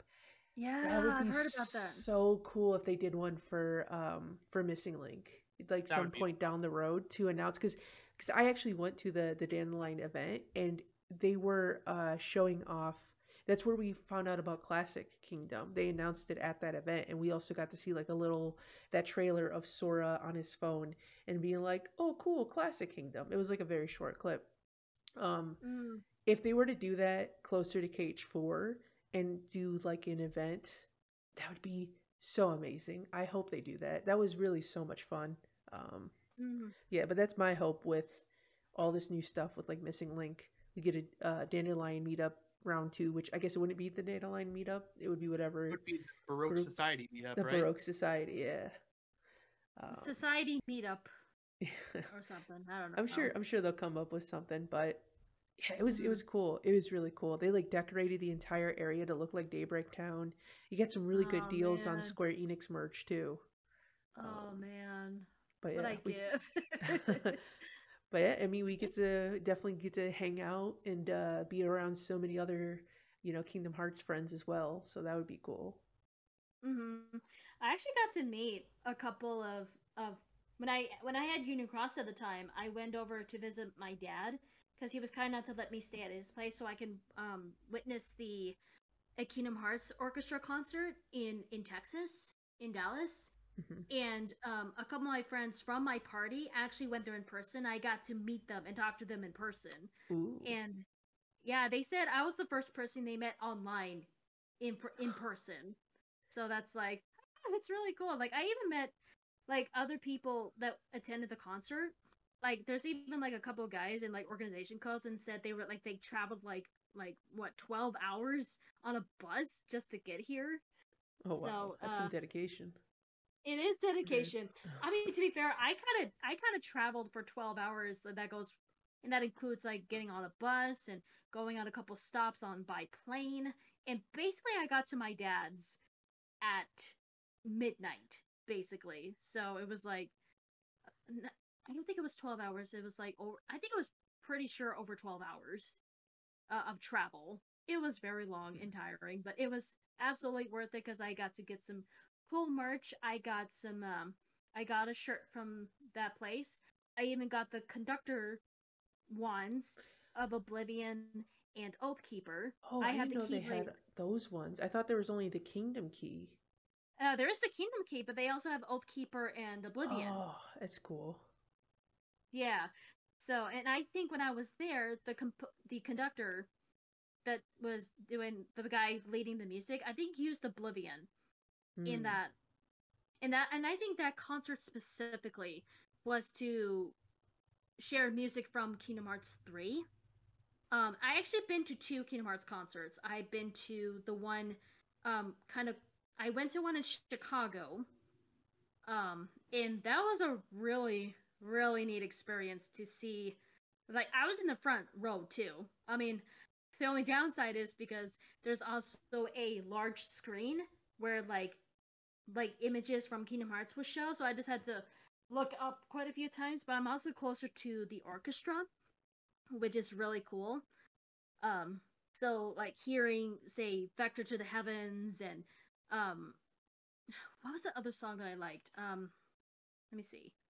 I how, fake Kingdom Hearts fan. I forgot the name of the song. uh, give me. I'll, be honest. There's times where I, people will reference songs, and I'm just like, "What Fate scene of was the that? Unknown. What scene was that in?" Because I'll know it by the scene. Oh, So like there's three songs that, you know, that stood out was um Fate of the Unknown, Vector to the Heavens, and obviously uh The Other Promise. Those were the obviously the big ones that stood out. And um just and the Kingdom Hearts 3 orchestra is like oh my goodness, it's it's just as great. But yeah, no, I, I've been to the orchestra once before. Definitely, if you haven't been to one, definitely would recommend it. yeah, take do it. Just do Mhm. it. I would love to go to those one one day. They are just so cool. And Nomura also apparently likes dropped lore during them. Thanks. Yeah, because didn't he do it? Didn't he mention the like Naminé Terra thing during one of the Yeah. orchestras? Yeah, that was Nuts. during Yeah. the orchestras. I remember because I was visiting my parents um, who live in the San Diego area, and uh, I was just like, dang, I'm only just like a few hours away. What the heck? Okay, so I'll be honest with you. I think that's exclusively in Japan. When I saw something like this, I think they had different songs played compared to what the little little book booklet thing has and has listed. Um, like I think there was like for example, there's actually the organization theme played in the orchestra, and it was not in the booklet that I bought. So Mm. I think the whole Terra Naminé interaction was just a Japanese exclusive thing. Um, and actually, now that I th- now that reminds me, speaking of Japanese exclusive, we all remember Second Breath, right? Where's the CD for Second Breath? Where is it? um, uh, I actually know where that CD is. It's in the black box. oh, That's true. That's what's in the box. It's the it's the second breath CD. Everybody. This was that's a I'm that's a whole. surpri- Hmm. Hmm. Yeah, I'm actually surprised they did not announce that yet. I mean, there was there was First Breath, but I like I think I think first see First Breath I think it's just mostly like there wasn't much of a choir involved. It's just mostly like simple instrument it's simple instruments like some violin, some some obviously piano and things like that, but not really much of choir involved in First Breath and I think Second Breath might might be no different, but uh, I w- I'll never know because they did not release a CD yet. Um, but but I think S- Second Breath kind of focuses on like Kingdom Hearts three and stuff. But I could be wrong. But but I want it so I can really be sure. I want it. I agree with Swood. I think it's in the black box. I think that's what Nomura's hiding from us in the Master of Masters. Oh yeah, and I think I heard during the Second Breath thing, Nomura said something weird. He's like, "Guys, something happened," and left the stage. I'm like, "Wait, what?" I think he was about to confirm something, but then I guess it didn't work out. I don't know. Maybe he didn't have time, and we don't know exactly what happened. So even Shimomura doesn't know. It's canon. Whatever it was, it was canon. We got to make sure to write that down. Everyone take a mental note of it. Make sure you never forget. But on that note, guys, thanks for hanging out. It's been a lot of fun. Again, Mhm. I'll uh, I'll rattle. I'll make sure to uh, give you guys, you know, your credits, your dues on in the video. But everybody will know I was hanging out with the amazing Swood, Oath, Prime, and Eliza. But thanks, thanks a lot. This was a lot of fun um, for like a second episode to do something a little differently, especially since I really wanted to talk about these topics. And I was happy that you guys also uh, wanted to talk about them as well, and that we were able to get some insights, especially that uh, that Incredibles one. That's honestly something that uh, I'm gonna think about from here on out. Um, and come up with potential good ideas for a team with a TV show or a movie or miniseries. Right. Yeah. Disney should Disney Plus, hit us up. we're we're open as consultants. We will we will 100% be dedicated to the project. We know this series in and out. corn chip. I haven't moved on from Cat Axel. You're still thinking about Cat Axel, dude. I have been too. I want that so badly. He could just be like an orange cat with a red hue. But then you could also have like a, a cat Roxas, and he could have his little wristband on too. What was that? That would literally be the some- cutest thing ever. Ellie looking in on this and being like, yes, yes, yes, Cat Axel. Yeah, I need I need all the Kingdom Hearts artists out there. Someone draw me. I'm sure it's probably out there, but someone draw me Cat Axel. I need that so badly. There is Lion King Axel roaming around online, so that's Mhm. close enough. I be, I be I would be happy with Lion Axel as well, and just have it like a big red spiky. It's almost like when Simba was a kid and he had that little like leave uh uh mane when he was singing that uh I, want to be king. That, but just Axel and his hair being all red and spiky. That would be amazing. I Oh my found- god. I have found fan art of uh, an Aristocat world version of that. And I will send it in the Oh. chat. Really? Oh my! I, mean, I had to have assumed that this existed, but oh my god, I'm so excited. I'm waiting, Swood. I'm waiting. I, I, I I'm literally just opened up just the other Discord and was like, let's go. Okay, so I found a really cool version of Lion Axel as well. Uh, unless someone caught up before I did, but uh, it looks very Axel. Oh wait, Final Fantasy Brother Bear. Oh okay. That's Oh, I, I said that in a different channel. oh, Oh, that kind of looks like the fox from uh, what's it called? Oh, like the Fox and the Hound. Fox and the Hound. Oh my god, the Fox and the Hound world would be such a great one. Oh my god, that is a. I love Sad that. though. I love that. I think Ooh, I've that- seen like that's cool. also like some lion Xehanorts as well, and um Mm. They they let me see if I. Oh, Out of all the cute. lion Uh, characters other than Sora, we had to get Pete. Uh, bruh, get some more Lion- characters in there. Lion Pete. Okay. Yeah, I mean, I, I mean, t- I dig that. technically he's a he's a cat, so that makes Mhm. sense. yeah, I can see it now that I'm looking at it. Yeah, it does look. I, I initially instantly went to the fox just because he has the same color scheme as the as uh, the uh, what's his name Todd. Was it Copper Mhm. or Todd? In Fox and the I think- Hound. Todd is the fox. Todd is the fox. Okay. Okay. Uh, Well, on that note, we thanks again. All this. Oh, okay. That is. I That's like that a lot. That is amazing. Yeah. Dude, Z- Z- Xigbar as a lion needed to happen. Yes. Oh, why did we not get Lion King in Kingdom Hearts 3? I am. All right, before I go on a, on a whole Lion King rant, because Lion King is my favorite Disney movie. So if I could have Lion King show up in more things, I would be so happy. But I'm going to end it there. Thanks again, everybody. Uh, goodbye. Thanks for inviting us. It was Thank quite you. fun. Yeah. no Thanks for having us.